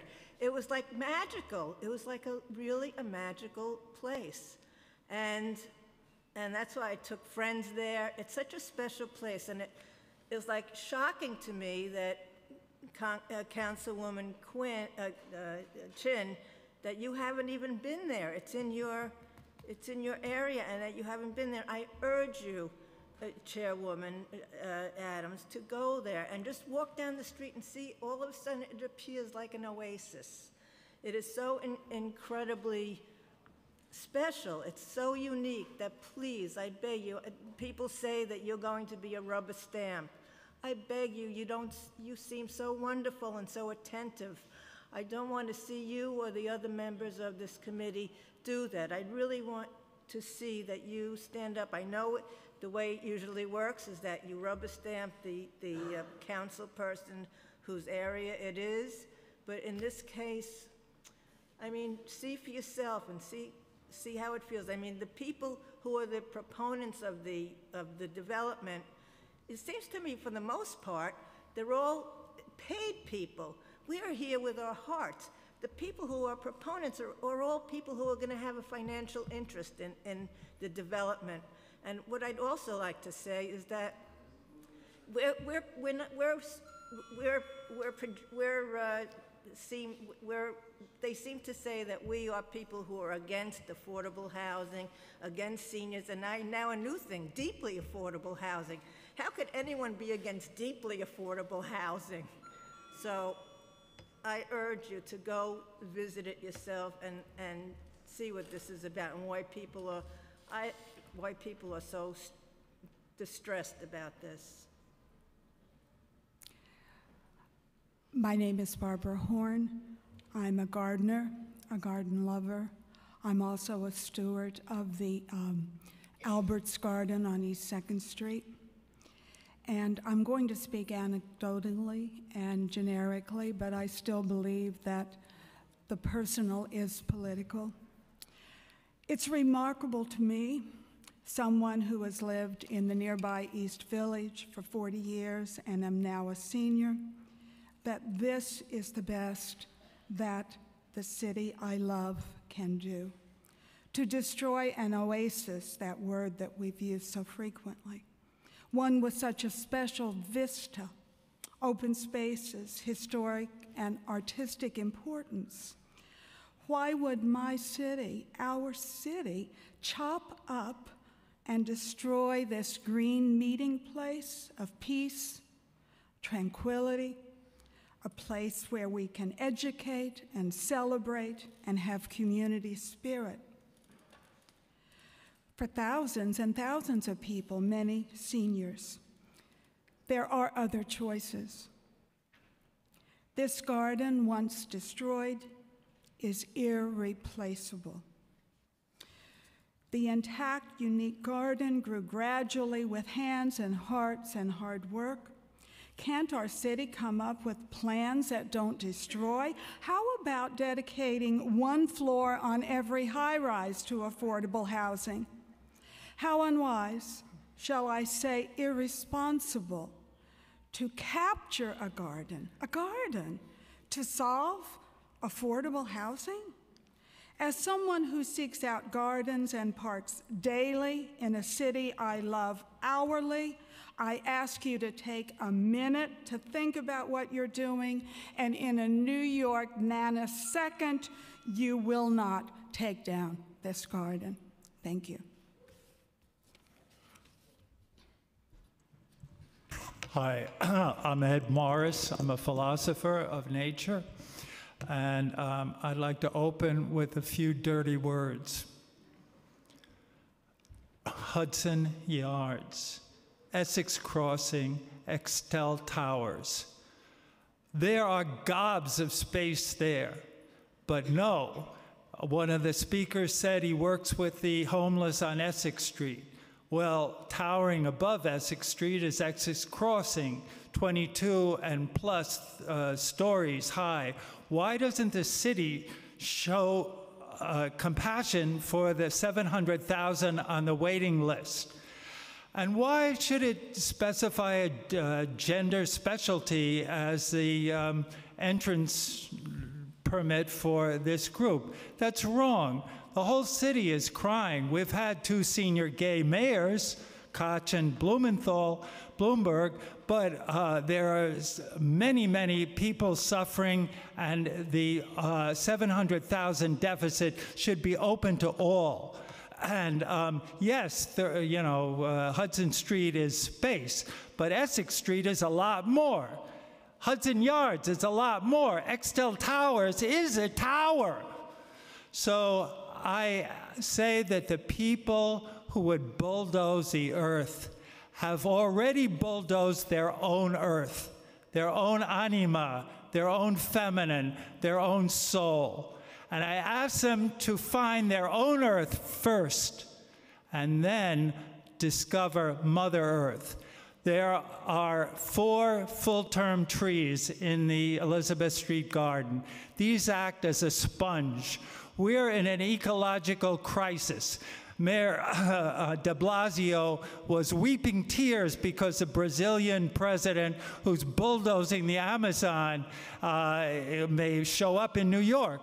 But he bulldozes his own Amazon. He bulldozes the Mandela Garden the Pleasant Village Garden in East Harlem, and he bulldozes ours. But as one old lady from Chinatown told me, she said, This is my garden, and I'm going to be padlocked to the fence if they want to come. Remember, you and we are the city, not Margaret Chin and our mentor, Sheldon Silver. Thank you. Thank you. Thank you for your testimony. Um, I'm speaking on behalf of President David Mulkins from the Bowery Alliance of Neighbors. The Bowery Alliance of Neighbors. The Bowery Alliance of Neighbors is a nonprofit grassroots organization working to protect residents, small businesses, um, the neighborhood, and the historic character of the Bowery. Dear Speaker Johnson and City Council members, we strongly oppose this ill advised development plan which seeks to bulldoze one of the community's most popular and enchanting open green spaces. Proponents of the development have followed a nasty and divisive strategy of portraying this as an either-or situation, wherein you can have only only have a garden or affordable housing. Why can't we have both, affordable housing and garden? We urge the council members to follow the very reasonable proposal made by Community Board 2, build affordable housing in one of the alternative sites, such as proposed before. Lost in all of this is the fact that the very large building adjunct to the Elizabeth III's Garden south side is Section 8 affordable housing, the residents of which will lose their lovely views and easy access to the garden as this, this development goes through. This situation reminds of the progressive era slogan bread and roses. In this current situation, the community supports the basic essentials, the bread of affordable housing, but also wants the roses, the beautiful things such as this enchanting garden green space. The Elizabeth Street Garden is one of the Little Italy area's few open green spaces. A jewel in this community, it brings joy to residents and tourists and contributes to the allure, value, and economic vitality of the community. Thank you to the many elected officials who have supported the garden's preservation. We urge the community council members to reject this development plan and instead support CB2's smart and reasonable alternative plan to have the affordable housing project built at an alternative site. Build affordable housing, but do not destroy this beautiful green garden space. Give us bread, but also give us roses. And I personally want to note that um, I was homeless and um, I have been, um, I, I'm part of the LGBTQ community, and I don't think there's like an either or necessary. And I, I host a um, weekly meetup um, group with almost 300 members at the garden for over two years with um, members who are 82 years old and also kids. And those are like twice the amount of numbers, uh, members of like the survey has of the um, Habitat for Humanity. So um, I, I think there's a strong support. There's thousands of people who volunteer to help them, and there's no paid people to do that. We all love the garden and the community. Thank you. Thank you very much. Thank you all for your passion on the issue today and for being here. Really appreciate it. thank you. All right, we're winding down. We're going to do it this way. Uh, Is there anyone in the room who has signed up to speak and has not yet spoken? What's your name? Allison Smith? Come on up. What's your name, sir? Thomas O'Neill? Anyone else? I'm going to repeat one more time. Are there any more members of the public who wish to testify on these items today? Okay.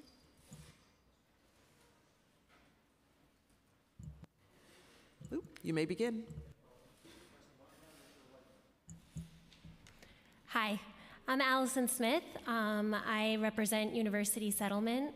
Um, I also represent uh, about 80 community members that couldn't be here through a petition that I brought. Um, with over 200,000 low income seniors and on affordable housing wait lists for an average of seven years, the Haven Green project is a compromise that allows New York City to prioritize our most vulnerable neighbors and open green space. The elder population is growing more rapidly than other segments of the city's residents, rising over 26% in the last 10 years. Currently, over 200,000 low income seniors are on waiting lists for senior housing.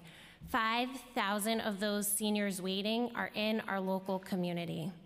University Settlements Housing Protection Program, Project Home, sees this crisis firsthand. Over 750 neighbors with housing crises come to us each year, including over 105 households over the year near the proposed Haven Green site, and over 60% of those are seniors. Projects like Haven Green are an important part of the solution to this crisis. The Haven Green project is a compromise to the greater good and preserves 8,000 square feet of open and public space. It's important to note that there's also a large public park two blocks away with active neighbors and invested organizations like ours who welcome more volunteers. The incredible energy of the, of the Elizabeth Street Garden supporters would be invaluable in volunteering and continuing to improve our community. We recognize the feeling of loss that the gardeners will have as the garden changes significantly. And we hope that they and you on the council also share the deep loss of those neighbors who lost their apartments on Elizabeth Street when we could not save them from landlord harassment, rising rents, and lack of physical accessibility as they grew older. These apartments and the 123 new neighbors of Haven Green will house will bring an incredible benefit to the community. We don't dispute the need for green space, but even higher on the priority list is safe, affordable housing.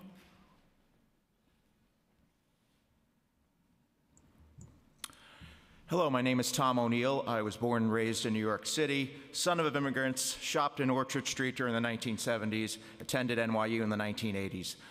I support low income housing, but I do not support the Haven Green Development Project. I support the preservation of the Elizabeth Street uh, Garden.